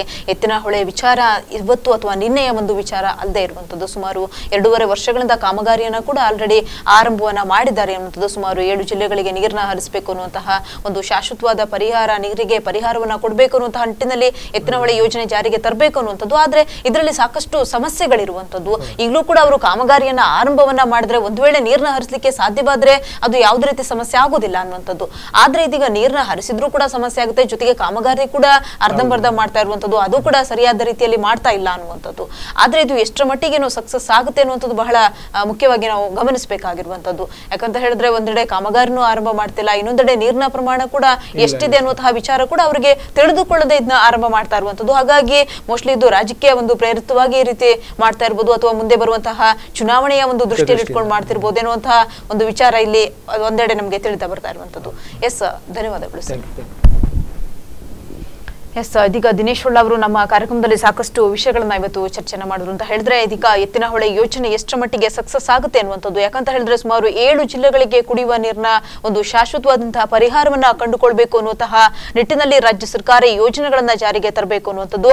ಆದ್ರೆ ಈ ಒಂದು ಯೋಜನೆಯನ್ನ ಇದೀಗ ಜಾರಿಗೆ ತರುವಂತಹ ಉದ್ದೇಶದಿಂದ ಸಾಕಷ್ಟು ಕಾಮಗಾರಿಯನ್ನ ಆರಂಭವನ್ನ ಮಾಡಿದ್ರೂ ಕೂಡ ಅದು ಸರಿಯಾದ ರೀತಿಯಲ್ಲಿ ಮಾಡ್ತಾ ಇಲ್ಲ ಅನ್ನುವಂತಹ ಆರೋಪ ಒಂದೆಡೆ ಕೇಳಿ ಬರ್ತಾ ಇರುವಂತದ್ದು ಇನ್ನೊಂದೆಡೆ ನಾವು ಗಮನಿಸೋದಾದ್ರೆ, ಕಳೆದ ಎರಡು ವರ್ಷಗಳಿಂದ ಅಥವಾ ಈ ವರ್ಷ ನಾವು ಗಮನಿಸಿದಾಗ ಕುಡಿಯುವ ನೀರಿನ ಸಮಸ್ಯೆನೇ ಹೆಚ್ಚಾಗಿರುವಂತದ್ದು ಇನ್ನು ಇಲ್ಲೇ ಕುಡಿಲಿಕ್ಕೆ ಅಥವಾ ಕರಾವಳಿ ಭಾಗದ ಜನರಿಗೆ ಕುಡಿಲಿಕ್ಕೆ ನೀರಿಲ್ಲ. ಇನ್ನು ಏನು ಆರು ಜಿಲ್ಲೆಗಳಿಗೆ ಅಥವಾ ಏಳು ಜಿಲ್ಲೆಗಳಿಗೆ ನೀರನ್ನ ಹರಿಸಲಿಕ್ಕೆ ಹೇಗೆ ಸಾಧ್ಯ ಆಗ್ತದೆ ಅನ್ನುವಂತಹ ವಿಚಾರ ಇರುವಂತದ್ದು ಅಲ್ಲದೆ ಸಾಕಷ್ಟು ಪರಿಸರ ಕೂಡ ಇದರಿಂದ ನಾಶ ಆಗ್ತದೆ ಅನ್ನುವಂತಹ ನಿಟ್ಟಿನಲ್ಲಿ ಸಾಕಷ್ಟು ಚರ್ಚೆಗಳು ಹಾಗೆ ಸಾಕಷ್ಟು ಹೋರಾಟಗಳು ಕೂಡ ನಡೆಸ್ಕೊಂಡು ಬರ್ತಾ ಇರುವಂತದ್ದು ಆದ್ರೂ ಕೂಡ ಇದೀಗ ಅವರು ಕಾಮಗಾರಿಯನ್ನ ಆರಂಭವನ್ನ ಮಾಡ್ತಾ ಇದ್ದಾರೆ. ಅದು ಕೂಡ ಸರಿಯಾದ ರೀತಿಯಲ್ಲಿ ಮಾಡ್ತಾ ಇಲ್ಲ ಅನ್ನುವಂತಹ ಆರೋಪ ಹೆಚ್ಚಾಗಿ ಇಲ್ಲಿ ಕೇಳಿ ಬರ್ತಾ ಇರುವಂತದ್ದು ಎಸ್ ಇದೇ ಹೊತ್ತಿನ ವಿಶೇಷ. ನಿರಂತರ ಸುದ್ದಿ ಹಾಗೂ ಮನೋರಂಜನೆಗಾಗಿ ನೋಡ್ತಾ ಇರಿ ಸ್ಪಂದನ ಟಿವಿ.